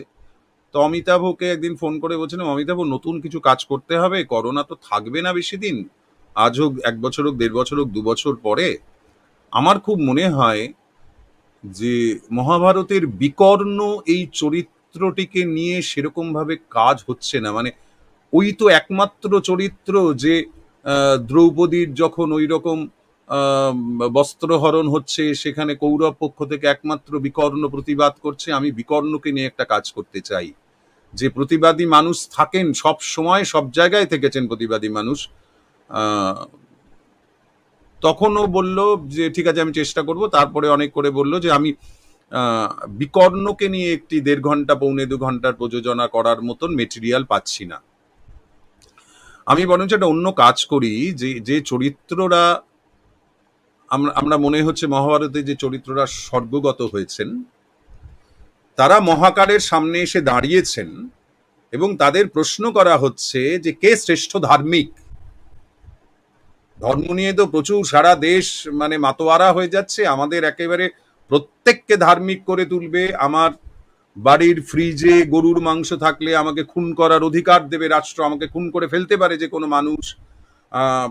আমাকে, আমি হিন্দু ধর্মের মানুষ, আমি গরুকে মাতৃজ্ঞানে পুজো করতে হবে, সমস্ত কিছু করে একেবারে সমস্তটা ঘেটে, আ সমুদ্র হিমাচল, একই ধর্মের বিতংশে বেঁধে দিতে হবে। এইরকম একটা সময় বলল যে আমরা ধর্ম আসলে কি, মহাভারত ধর্ম কাকে বলছে, সেটা নিয়ে কাজ করি। তারপরে ও একটি স্ক্রিপ্ট তৈরি করে। এবং তারপরে সেটা ওই পড়াশুনো করা এবং নানা লোকের সঙ্গে যোগাযোগ করা, বিশেষ করে নৃসিংহ প্রসাদ ভাদুরী আমাকে ব্যক্তিগতভাবে সাহায্য করেছেন এই কাজটি করার ক্ষেত্রে মানে টেক্সটটা করার ক্ষেত্রে। এবং সেইটা করতে করতে এই মহাভারতের থেকে আমরা বর্তমান ভারতে প্রবেশ করি। এবং অজন্তা দি, একটা কথা এই যে আমাদের সংবিধানের যে প্রিএম্বল যে প্রস্তাবনা একটা সংবিধানের এত অসাধারণ প্রস্তাবনা হতে পারে। মানে সেই প্রস্তাবনাকে আমরা প্রতি মুহূর্তে, রাষ্ট্র ক্ষমতা সেই প্রস্তাবনাকে প্রতি মুহূর্তে ধ্বস্ত করছেন প্রতি মুহূর্তে ধ্বস্ত করছেন আমাদের মনে হয়েছিল এই প্রস্তাবনায় ফিরতে হবে, আমাদের প্রযোজনায় যেন এই প্রস্তাবনায় ফিরতে পারে। যে কি বলছে, আমার সংবিধান আমাকে কি বলছে, একজন মানুষ, একজন দেশবাসীর কি অধিকার, কি বলছেন, দেশটাকে কোন দিকে নিয়ে যেতে চায়, যাওয়া উচিত আমরা সেই জন্য মহাভারত থেকে এই মহাভারতে এসে পৌঁছেছি। এবং সেক্ষেত্রে খুব কঠিন টেক্সট এবং মহাভারতকে যেভাবে দেখা হয়েছে, এই টেক্সটে সেটাও খুব ইন্টারেস্টিং বলে আমাদের মনে হয়েছে। এবং আমাদের সাতাশটা ছেলে মেয়ে, ওই যে আমি লিখেছিলাম যে আমাদের মধ্যে কোনো সেলিব্রিটি নেই। এবং সেলিব্রিটি না থাকাটা আমাদের একটা খুব বড় কাজ করেছে। মানে আমরা সব সময় চেয়েছি, অজন্তা দি, কোনোদিন বেলঘরিয়া এসে স্টেশনে নেমে সুমন্ত্র সেনগুপ্তর বাড়ি যাব বললে কোনো রিক্সাওয়ালা নিয়ে আসতে পারবে না। শঙ্খমালা বললে নিয়ে আসবে। আমি এটা চেয়েছিলাম। আমি কোনো দিন কখনো ব্যক্তিগতভাবে সাংঘাতিক একটা সেলিব্রিটি ইমেজ আমার তৈরি হোক, এটা আমি কোনোদিন কল্পনাই করিনি। মানে আজ লোকে বলবে যে, তুমি সেলিব্রিটি হওনি বলে কথা বলছো। কিন্তু সত্যিই আমি চাইনি। আমি চেয়েছি যে শঙ্খমালা ভালো কাজ করুক। এবং শঙ্খমালা নতুন প্রযোজনা করছে অজন্তা দিয়ে আমি তোমাদের মাধ্যমে বলতে চাই যে, যখন আমরা ফেসবুকে দিলাম, পনেরো দিনের মধ্যে অনলাইন এবং ফোন বুকিংয়ে টিকিট শেষ হয়ে গেল। মানে কামারাটি নজরুল মঞ্চে আটশো অ্যাকোমোডেশন আমি পাঁচশো টিকিট ছাপিয়েছিলাম আর একশো অতিথি, ছশো দুশো টিকিট ছাপাইনি আমি বলেছিলাম যে ফালতু ফালতু প্রিন্টিং এর খরচা বাড়িয়ে লাভ নেই। আমাকে টিকিট ছাপাতে হলো। এবং অনুষ্ঠানের দিন সকাল পর্যন্ত একুশটা টিকিট ছিল। তিনটের সময় আমরা কাউন্টার খুলেছি। পনেরো মিনিটের মধ্যে একুশটা টিকিট শেষ হয়ে গেছে। প্রচুর মানুষ টিকিট না পেয়ে ফিরে গেছে। এইটাতে আমার খুব আনন্দ হয়েছে যে একজনও সেলিব্রিটি নেই যাকে দেখতে মানুষ আসছে। তাহলে মানুষ শঙ্খমালার কাজটা কন্টেন্টটাকে জানতে আসছে, তার প্রেজেন্টেশনটাকে জানতে আসছে। এবং থিয়েটারের খুব ভালো পরিচিত নির্দেশক বিপ্লব এত সুন্দর করে ও দৃশ্যায়নগুলো তৈরি করেছে। সেটা লোকের, এবং একটা আবৃত্তির দল অজন্তা দি ছেলে মেয়েগুলো সারা রাত রিহার্সাল করছে কিসের প্রত্যাশায়? কি প্রত্যাশা তাদের যে পরের দিন কাগজে তাদের সাতাশ জনের ছবি বেরোবে? টিভির কোনো চ্যানেলের বুম এসে তার বাইট নেবে? কি প্রত্যাশায় করেছে? শুধুমাত্র আনন্দ এবং এই বিশ্বাস থেকে করেছে যে আমরা আমাদের শিল্প নিয়ে কোনোদিন কোনো তঞ্চকতা করিনি। এটা খুব জোর দিয়ে বলতে পারি, কোনো তঞ্চকতা নেই, কোনো কম্প্রোমাইজ পর্যন্ত করিনি। যে টেক্সট ওখানে করা হয়েছে টেক্সটের যা বিষয়বস্তু, সেই টেক্সট মঞ্চে দাঁড়িয়ে বলতে সিদ্ধারার জোর লাগবে এই মুহূর্তে। সেই জোর আমরা দেখিয়েছি, সাতাশটা ছেলে মেয়ে জোর দেখিয়েছে। যে আলো করেছে সে দেখিয়েছে, যে আবহ করেছে সে দেখিয়েছে, যে সংগীত পরিচালনা করেছে তিনি দেখিয়েছেন, যিনি দৃশ্যায়ন করেছেন তিনি দেখেছেন। প্রত্যেকের সিদ্ধারার জোরের জন্য এই কাজটা করেছে।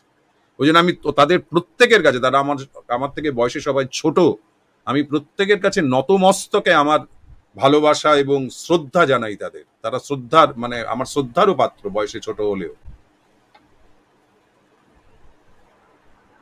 তোমার মাধ্যমে আমিও তাদের শ্রদ্ধা জানাই, কারণ আজকের সময়ে দাঁড়িয়ে এই মেরুদণ্ড সোজা রাখাটাই এখন দেখছি সব থেকে বড় একটা বিরল ঘটনা হয়ে দাঁড়িয়েছে। আরেকটা কথা সেটা হচ্ছে এটা কিন্তু, বিশ্বাস করো, এই যে তুমি এতক্ষণ যেটা বললে মহাবৈদুর্য নিয়ে বা আরও তোমাদের প্রযোজনা নিয়ে, এটা কিন্তু নৈতিকতার জয়। এটা না কোথাও আমাদেরকেও একটা আনন্দ দেয়, জানো তো? মানে আমি হয়তো অনেক দূর থেকে পুরোটা পর্যবেক্ষণ করছি বা তোমার সঙ্গে কিছুটা কোয়ার্ডিনেট করছি কিন্তু এটার যে একটা ওই ইতিবাচক একটা হাওয়া, সেটা কিন্তু আমি অনুভব করতে পারি। সেটা খুব আনন্দ দেয় যে না, এখনও এইভাবে সম্ভব। মানে এইভাবে এখনও কোন রকম শর্তে না গিয়ে কোন রকম সমঝোতা না করে এখনও সম্ভব। আপোষহীন কাজ করা এখনও সম্ভব। আর তুমি সেলিব্রিটির কথাটা বলছিলে, আমি তো জীবনভর সেলিব্রিটি দেখে এসেছি। আর আমি জানি না মানে সেলিব্রিটি ব্যাপারটাও তো এখন মিডিয়া তৈরি করে, সুতরাং এখন আর সেলিব্রিটিরও সেই দামটা নেই। মানে যে, যেটা আজকে ধরো সৌমিত্র চট্টোপাধ্যায় যে জায়গাটা আমাদের আমাদের মনে যে জায়গাটা অধিকার করেছেন, সেটা কি আর তারপরে আর এখন কজন হাতে গোনা হয়তো তিন চারজন হবেন? তারা কিন্তু সম্মানটা হয়তো তার বাড়ি গাড়ি আছে, কিন্তু ওই সম্মানের জায়গাটা অনেকটাই চলে গেছে এবং আমরা সবাই জানি মিডিয়ায় সেলিব্রিটি তৈরি করে এখন। সেই সেই জন্য তার যে স্টেটাস সেটা পুরোপুরি নির্ভর করছে কতদিন মিডিয়া তার প্রতি আশীর্বাদ, প্রসাদ বর্ষণ করবে তার উপরে। এটা আমরা সবাই জানি। একটু সতীনাথদার কথা এখন একটা কথা আমারও একটু বলা দরকার। তুমি সতীনাথদার কথা তুললে। আমি ব্যক্তিগতভাবে সতীনাথদার কাছে ভয়ঙ্কর ঋণী। তার কারণ, আমি, আমার সাংবাদিকতা শুরুর ক্ষেত্রে কিন্তু সতীনাথদার একটা ভূমিকা রয়েছে। আমি কিন্তু সংবাদ মাধ্যমে এসেছিলাম স্পেস সেলিং মানে বিজ্ঞাপনের কাজে। আমি কিন্তু সাংবাদিকতার চাকরি নিয়ে কাজটা শুরু করিনি। সতীনাথদার কি মনে হয়েছিল? সতীনাথদা আমাকে দিয়ে লেখাতেন ওর পাতায়। এবং তখন কিন্তু আমি বিজ্ঞাপনে কাজ করছি। সতীনাথদা আমাকে সেই সময় মান্নাদের ইন্টারভিউ করিয়েছিলেন। এবং মানে এটা খুব আশ্চর্যের। মান্নাদের ইন্টারভিউ করি, এবং প্রত্যেকবারই বলতেন, আপনি তো গানটা জানেন, আপনি করুন। আপনি করলে কাজটা ভালো হবে। এরকম প্রচুর মনে রাখা কাজ সতীনাথদা আমায় দিয়ে করিয়েছিলেন। এবং আমি যে লেখাগুলো যতটুকু উনি কারেকশন করতেন সেটাই আমার শেখা এবং আজকে সতীনাথদা নেই ভীষণ অসময়ে চলে গেছেন এবং সতীনাথদার পড়াশোনা সতীনাথদার কলম ওই রকম তো সত্যি আর হবে না। মানে আমরা আজকে আমি ধরুন আজকে সাংবাদিকতার ক্ষেত্রে বিশেষ করে বিনোদন এবং সাংস্কৃতিক সাংবাদিকতা যতটুকু আজকে পুরোটাই সতীনাথদার কাছে শেখা। এটা আমাকে স্বীকার করতেই হবে। এবার পরের প্রশ্নে আসি। সেটা হচ্ছে যে আমি এটা জানতাম সুমন্ত্র যে, আমার আর তোমার কথা ঠিক ঘড়ি ধরে হবে না। আজকে আমাদের একটু সময় বেশি লাগবে, সেটা সবাই আমরা জানি। সুতরাং সেটা নিয়ে চিন্তার কিছু নেই। এবার একটু একটু ব্যক্তিগত প্রশ্নে যাই। ব্যক্তিগত বলতে ঠিক ব্যক্তিগত না। এটা সব, সমস্ত শিল্পীরই এটা একটা সংকটের বা সমস্যার বা চিন্তার ভাবনার জায়গা হয়ে থাকে। মানে এই যে পুরো আবৃত্তি যাপন সেটার সঙ্গে তোমাকে রুটি রুজির ব্যবস্থাটাও করতে হচ্ছে। সাংসারিক টানাপোড়েন, অসুস্থতা অন্য সমস্যা, এগুলো আসতেই পারে জীবনে। তো এই সমস্ত সময়গুলোতে কাকে বা কাদের পাশে পেয়েছ, তাদের কথা একটু বলো। এবং কি করে নিজেই বা নিজেকে আবৃত্তির জায়গা থেকে আশ্রয় পেয়েছ, সেটাও একটু বলো।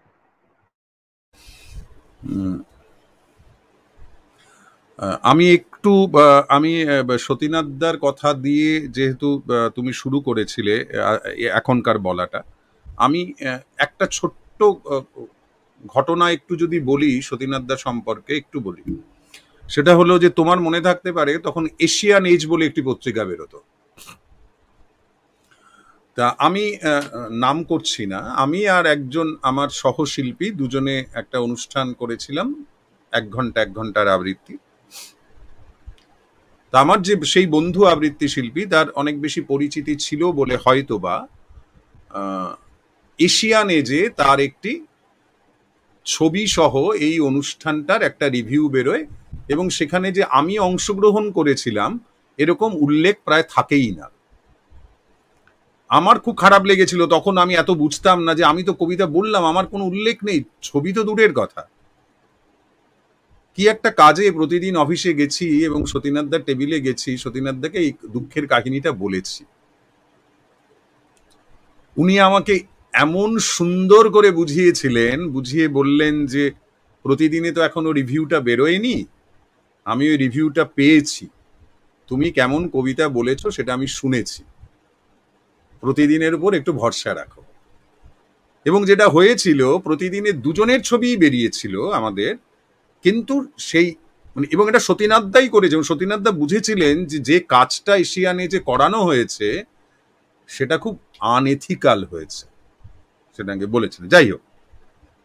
প্রথম কথা বলি যে হ্যাঁ আমার কাজ করতে গিয়ে যেটা আমি যখন শুরু করেছিলাম শঙ্খমালার কাজ, তখন বিশেষ করে আমার মায়ের কথা বলতেই হবে।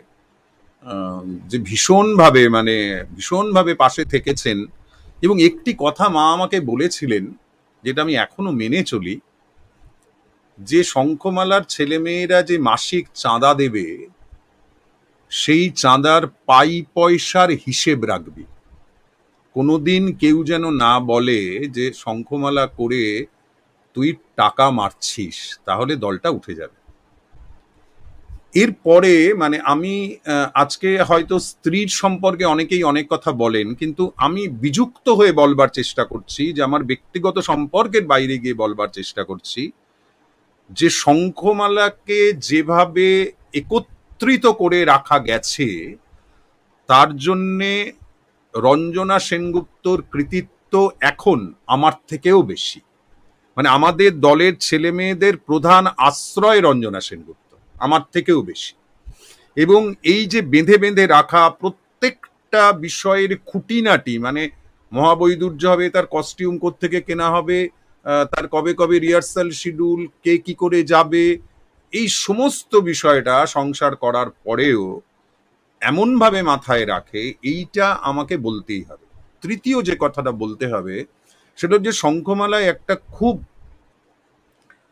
শক্তিশালী কার্যকরী সমিতি আছে, যেটা প্রতি বছর বাৎসরিক সভাতে নির্দিষ্ট করে স্থির হয় কারা কার্যকরী সমিতিতে থাকবেন। সেখানে যেমন একজন পঁচাত্তর বছর বয়সের যুবকও আছেন, তেমনি আবার তেইশ বছরের যুবকও আছেন। আমি পঁচাত্তর বছরের যুবক বললাম কেন? যে যে মহাবৈদুর্য হচ্ছে, তারা আমাকে বলছেন যে আপনি মঞ্চ সামলান।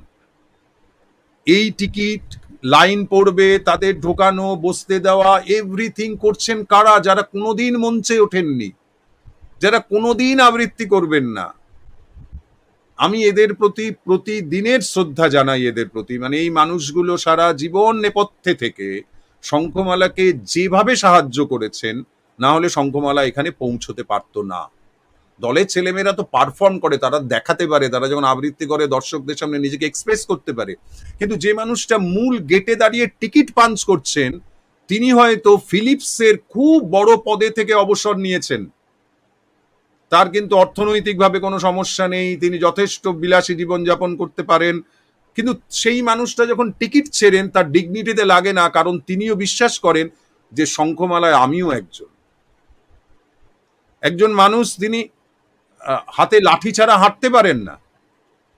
তিনি আমরা সারা রাত রিহার্সাল দিলে বলেন যে, আমি একটু খবর পেলাম না, তাহলে আমি সারা রাত রিহার্সালে থাকতাম।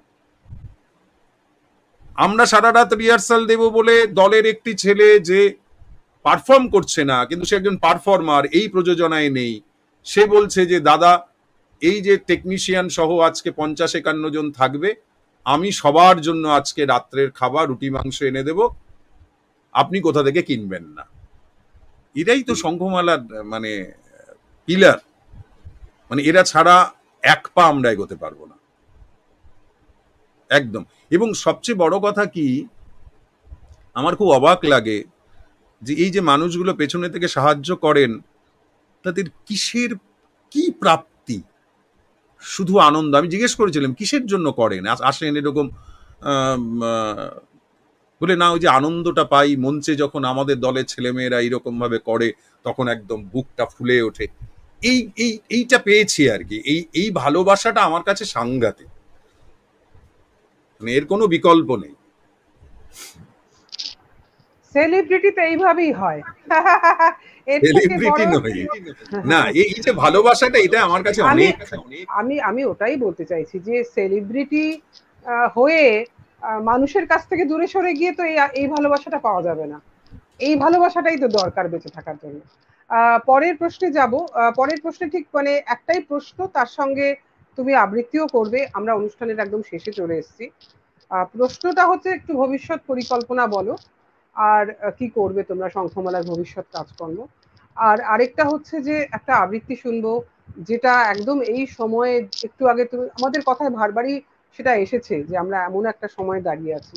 সেই সময়টাকে কেন্দ্র করে একটা যদি কিছু বলো, খুব ভালো হয়। আর তারপরে পুজো নিয়ে কিছু কথা শুনব, তারপরে অনুষ্ঠান শেষ। সবার আগে তুমি তোমার ভবিষ্যৎ পরিকল্পনা বলো এবং আবৃত্তি শোনাও। ভবিষ্যৎ পরিকল্পনা মানে মহাবৈদুর্য নিয়ে তো প্রচুর, অনেকগুলো শো করতে হবে। ফলে সেটা নিয়ে ভাবছি। আর আমাদের দলে প্রচুর ছোট ছোট ছেলে মেয়ে আছে, তাদের নিয়ে একটা ফেস্টিভ্যাল হচ্ছে অক্টোবর মাসে। দুদিন ধরে উৎসব হচ্ছে। এবং দূর দূরান্ত থেকে এখন অনলাইনে অনেকে চর্চা করেন আমাদের সাথে, সেই সব ছোটরাও আসবেন। এরপরে জানুয়ারি মাসে একটা বড় ফেস্টিভ্যাল হবে, সেখানে বড়রা সিনিয়ররা অংশগ্রহণ করবেন। এবং আমাদের শঙ্খমালা, একটা শঙ্খমালা ক্রিয়েশনস নামে একটা ইউটিউব চ্যানেল করে, তারও বেশ কিছু কাজ ব্যাংকিং হয়ে আছে। আর এই যে মানে আমাদের দলটা কীরকম বন্ডিং এর মধ্যে থাকে, যে আমার ছেলে বিদেশ থাকে পড়াশুনো করার জন্য। কিন্তু সে এমনভাবে শঙ্খমালার সঙ্গে জড়িয়ে থাকে যে মহাবৈদুর্যের পাবলিসিটি কীভাবে হবে? তুমি এসব ঠিক বোঝো না। পাবলিসিটি এইভাবে করতে হবে। ইউটিউব চ্যানেলটা সে ওখান থেকে নিয়ন্ত্রণ করে প্ল্যান করে, পাঠায় সেটা এক্সিকিউশনের দেরি হলে বকাবকি করে, ফলে এইটা আছে আর কি। সেই সব নিয়ে ওদেরও কিছু ভাবনা আছে ছোট ছোট ছেলে মেয়েদের। আর আমিও একটু ডিরেকশনের ছোট ছোট প্রযোজনার ডিরেকশনের কাজ আমাদের পরবর্তী প্রজন্মের হাতে ছেড়ে দিচ্ছি।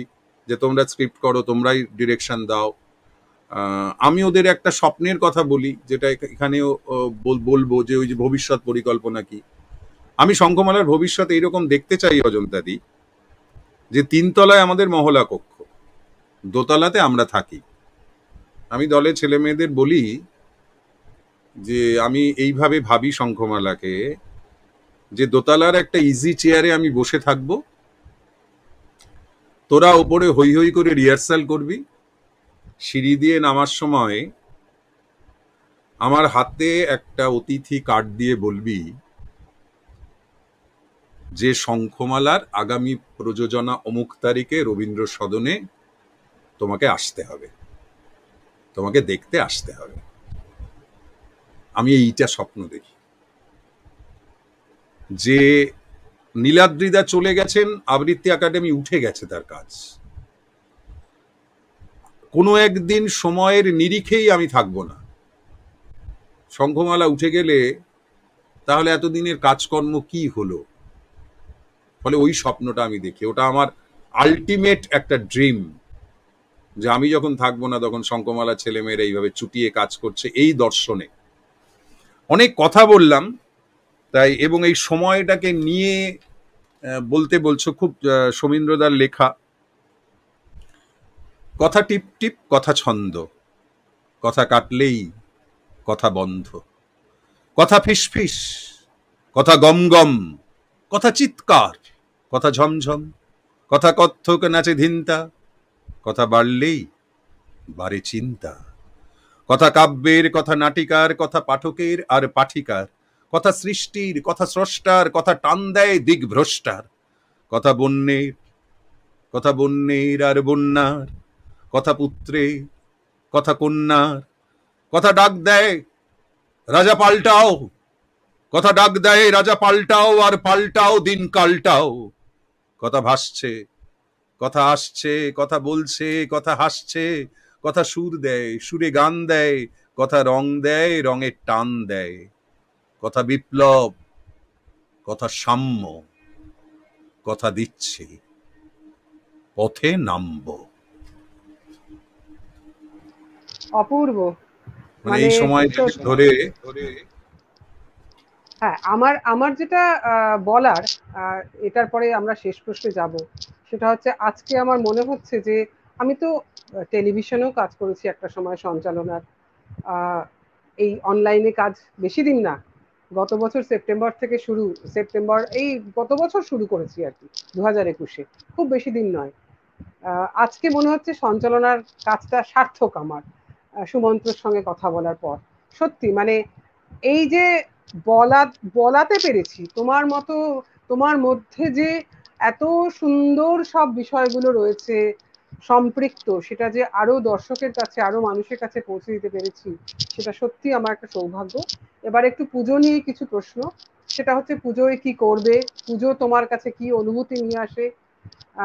আমরা জানি যে আমরা একটা এমন সময়ে এখন দাঁড়িয়ে, পুজো বলতে আমাদের যে সেই একটা আনন্দময় ছবি আমাদের মধ্যে রয়েছে, সেটা অনেকটাই, ছবিটা অনেকটাই মানে কাটা ছেঁড়া এই মুহূর্তে। সেই সময়ে দাঁড়িয়েও বাঙালির তো দুর্গাপুজোর সঙ্গে তার একটা নারীর যোগ, সেখান থেকে যদি কিছু বলো আমাদের।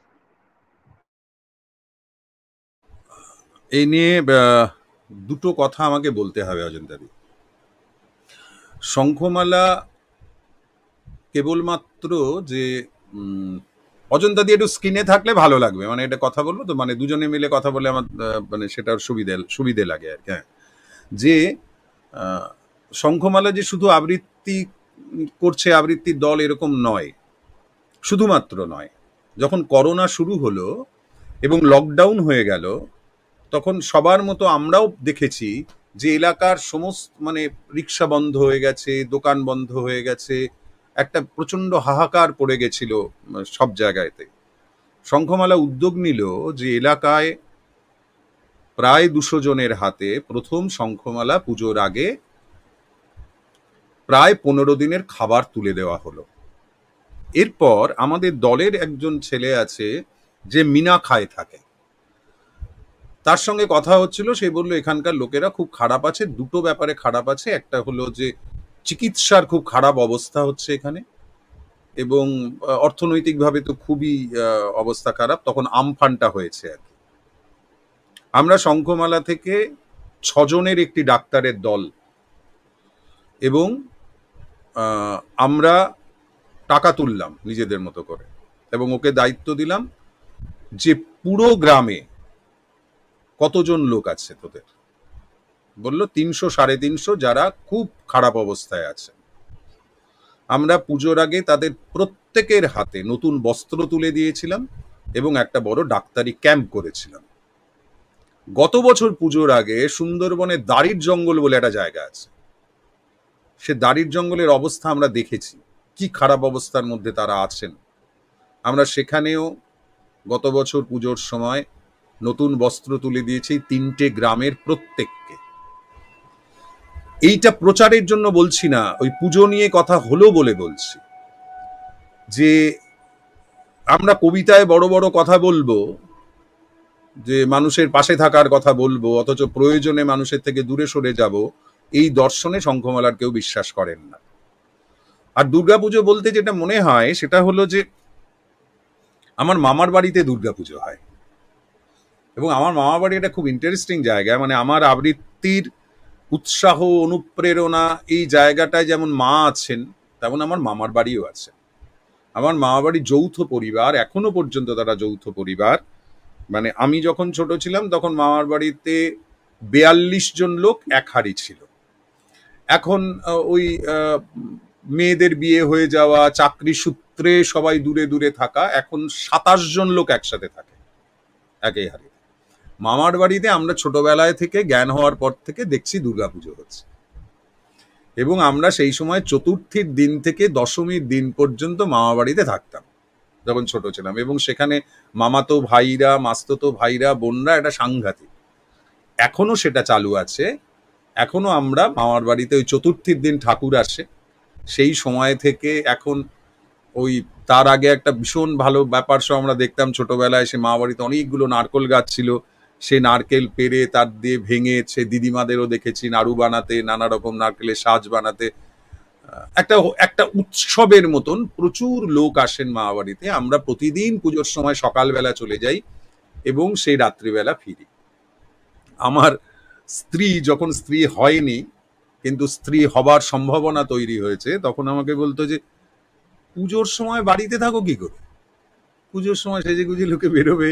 আমি বললাম, বিয়েটা হলে তো তুমি থাক, যাবে ওখানে, তখন দেখবে। এখন সেও বলে যে, না, বাড়িতে পুজো হলে যা হয়, সেটা অন্যরকম মানে এই এই উৎসব ঘিরে এইটা পাই। আর আর পুজো বলতে তো এখন ক্লাবগুলোকে ষাট হাজার টাকা। শুনছি সেটা দিয়েও নাকি অর্থনীতির অনেক জোর আসে বলতে পারব না। আর আমার হাতে তো নাই ভুবনের ভার। ফলে আমার কাছে ওই মামার বাড়ির পুজোর উৎসব কিংবা ওই দাড়ির জঙ্গল কিংবা মিনাখায় গিয়ে ওই মানুষগুলোকে আমার পরিচিত ডাক্তার নারী টিপে বলছে, যখন করোনাতে ডাক্তাররা হোয়াটসঅ্যাপ কলে দেখছেন, তখন আমার বন্ধু ডাক্তাররা, তাদের মধ্যে অনেকেই শঙ্খমালার এদের আবৃত্তি চর্চা করেন, তারা গিয়ে হাতে দিয়ে নারী টিপছে কিংবা স্টেথোটা সরাসরি বুকে বসাচ্ছে, এটাও আমার কাছে পুজো। এটাও আমার কাছে উৎসব। কিন্তু এই উৎসবটা যাতে না হয়, সেই স্বপ্ন দেখি, যেন আমাকে কোনো সংগঠনকে মানে তুমি জানো যে লোপা এই কাজটা ভীষণ করেন আমাদের সংগীত শিল্পী লোপা। লোপাও আমাকে অনেক জায়গার খবর দিয়েছে, তোমরা এখানে একটু যেতে পারো, তোমরা ওখানে একটু যেতে পারো। যদি কোনো একটা দিন আসে যে কাউকে যেতে হচ্ছে না অজন্তা দি তারা নিজেরাই নিজেদের অর্জন করে নিতে পারছে। তারা চাইলেই একজন ভালো ডাক্তার দেখাতে পাচ্ছে তারা চাইলেই দোকানে গিয়ে তার সন্তানের জন্য একটি ভালো ফ্রক কিনে দিতে পারছে, একটা ভালো প্যান্ট শার্ট কিনে দিতে পারছে। সেই দিনটা আসবে কিনা জানি না, কিন্তু সেটা হবে সবচাইতে বড় উৎসব। এটাই মনে হয় আমার। ভীষণ সুন্দর বললে সত্যি, সেই দিনটাই হচ্ছে সত্যিকারের উৎসব হবে। সেটাই হচ্ছে যে সর্বজনীন দুর্গোৎসব আমরা বলি, সেদিন সার্থকতা পাবে। তা না হলে তো এটা শুধু একটা কথার কথা থেকে যাবে। সুমন্ত্র, তোমাকে ধন্যবাদ জানাব না। অনেক ভালোবাসা, অনেক শ্রদ্ধা মানে আজকের সন্ধ্যাটা আমার মনে হয় আমাদের ননস্টপ আড্ডার জন্য একটা স্মরণীয় সন্ধ্যা হয়ে থাকল। যারা দেখলেন তারাও নিশ্চয়ই অনেকটাই মানে সম্পৃক্ত হয়েছেন, সমৃদ্ধ হয়েছেন। আমি আর নিজে কি বলব, আমি তো বললাম যে আমার সঞ্চালনা আজকে মনে হচ্ছে সার্থক। খুব ভালো থেকো তুমি, সবাই ভালো থাকুন। আজ এখানেই শেষ করছি। নমস্কার, শুভরাত্রি।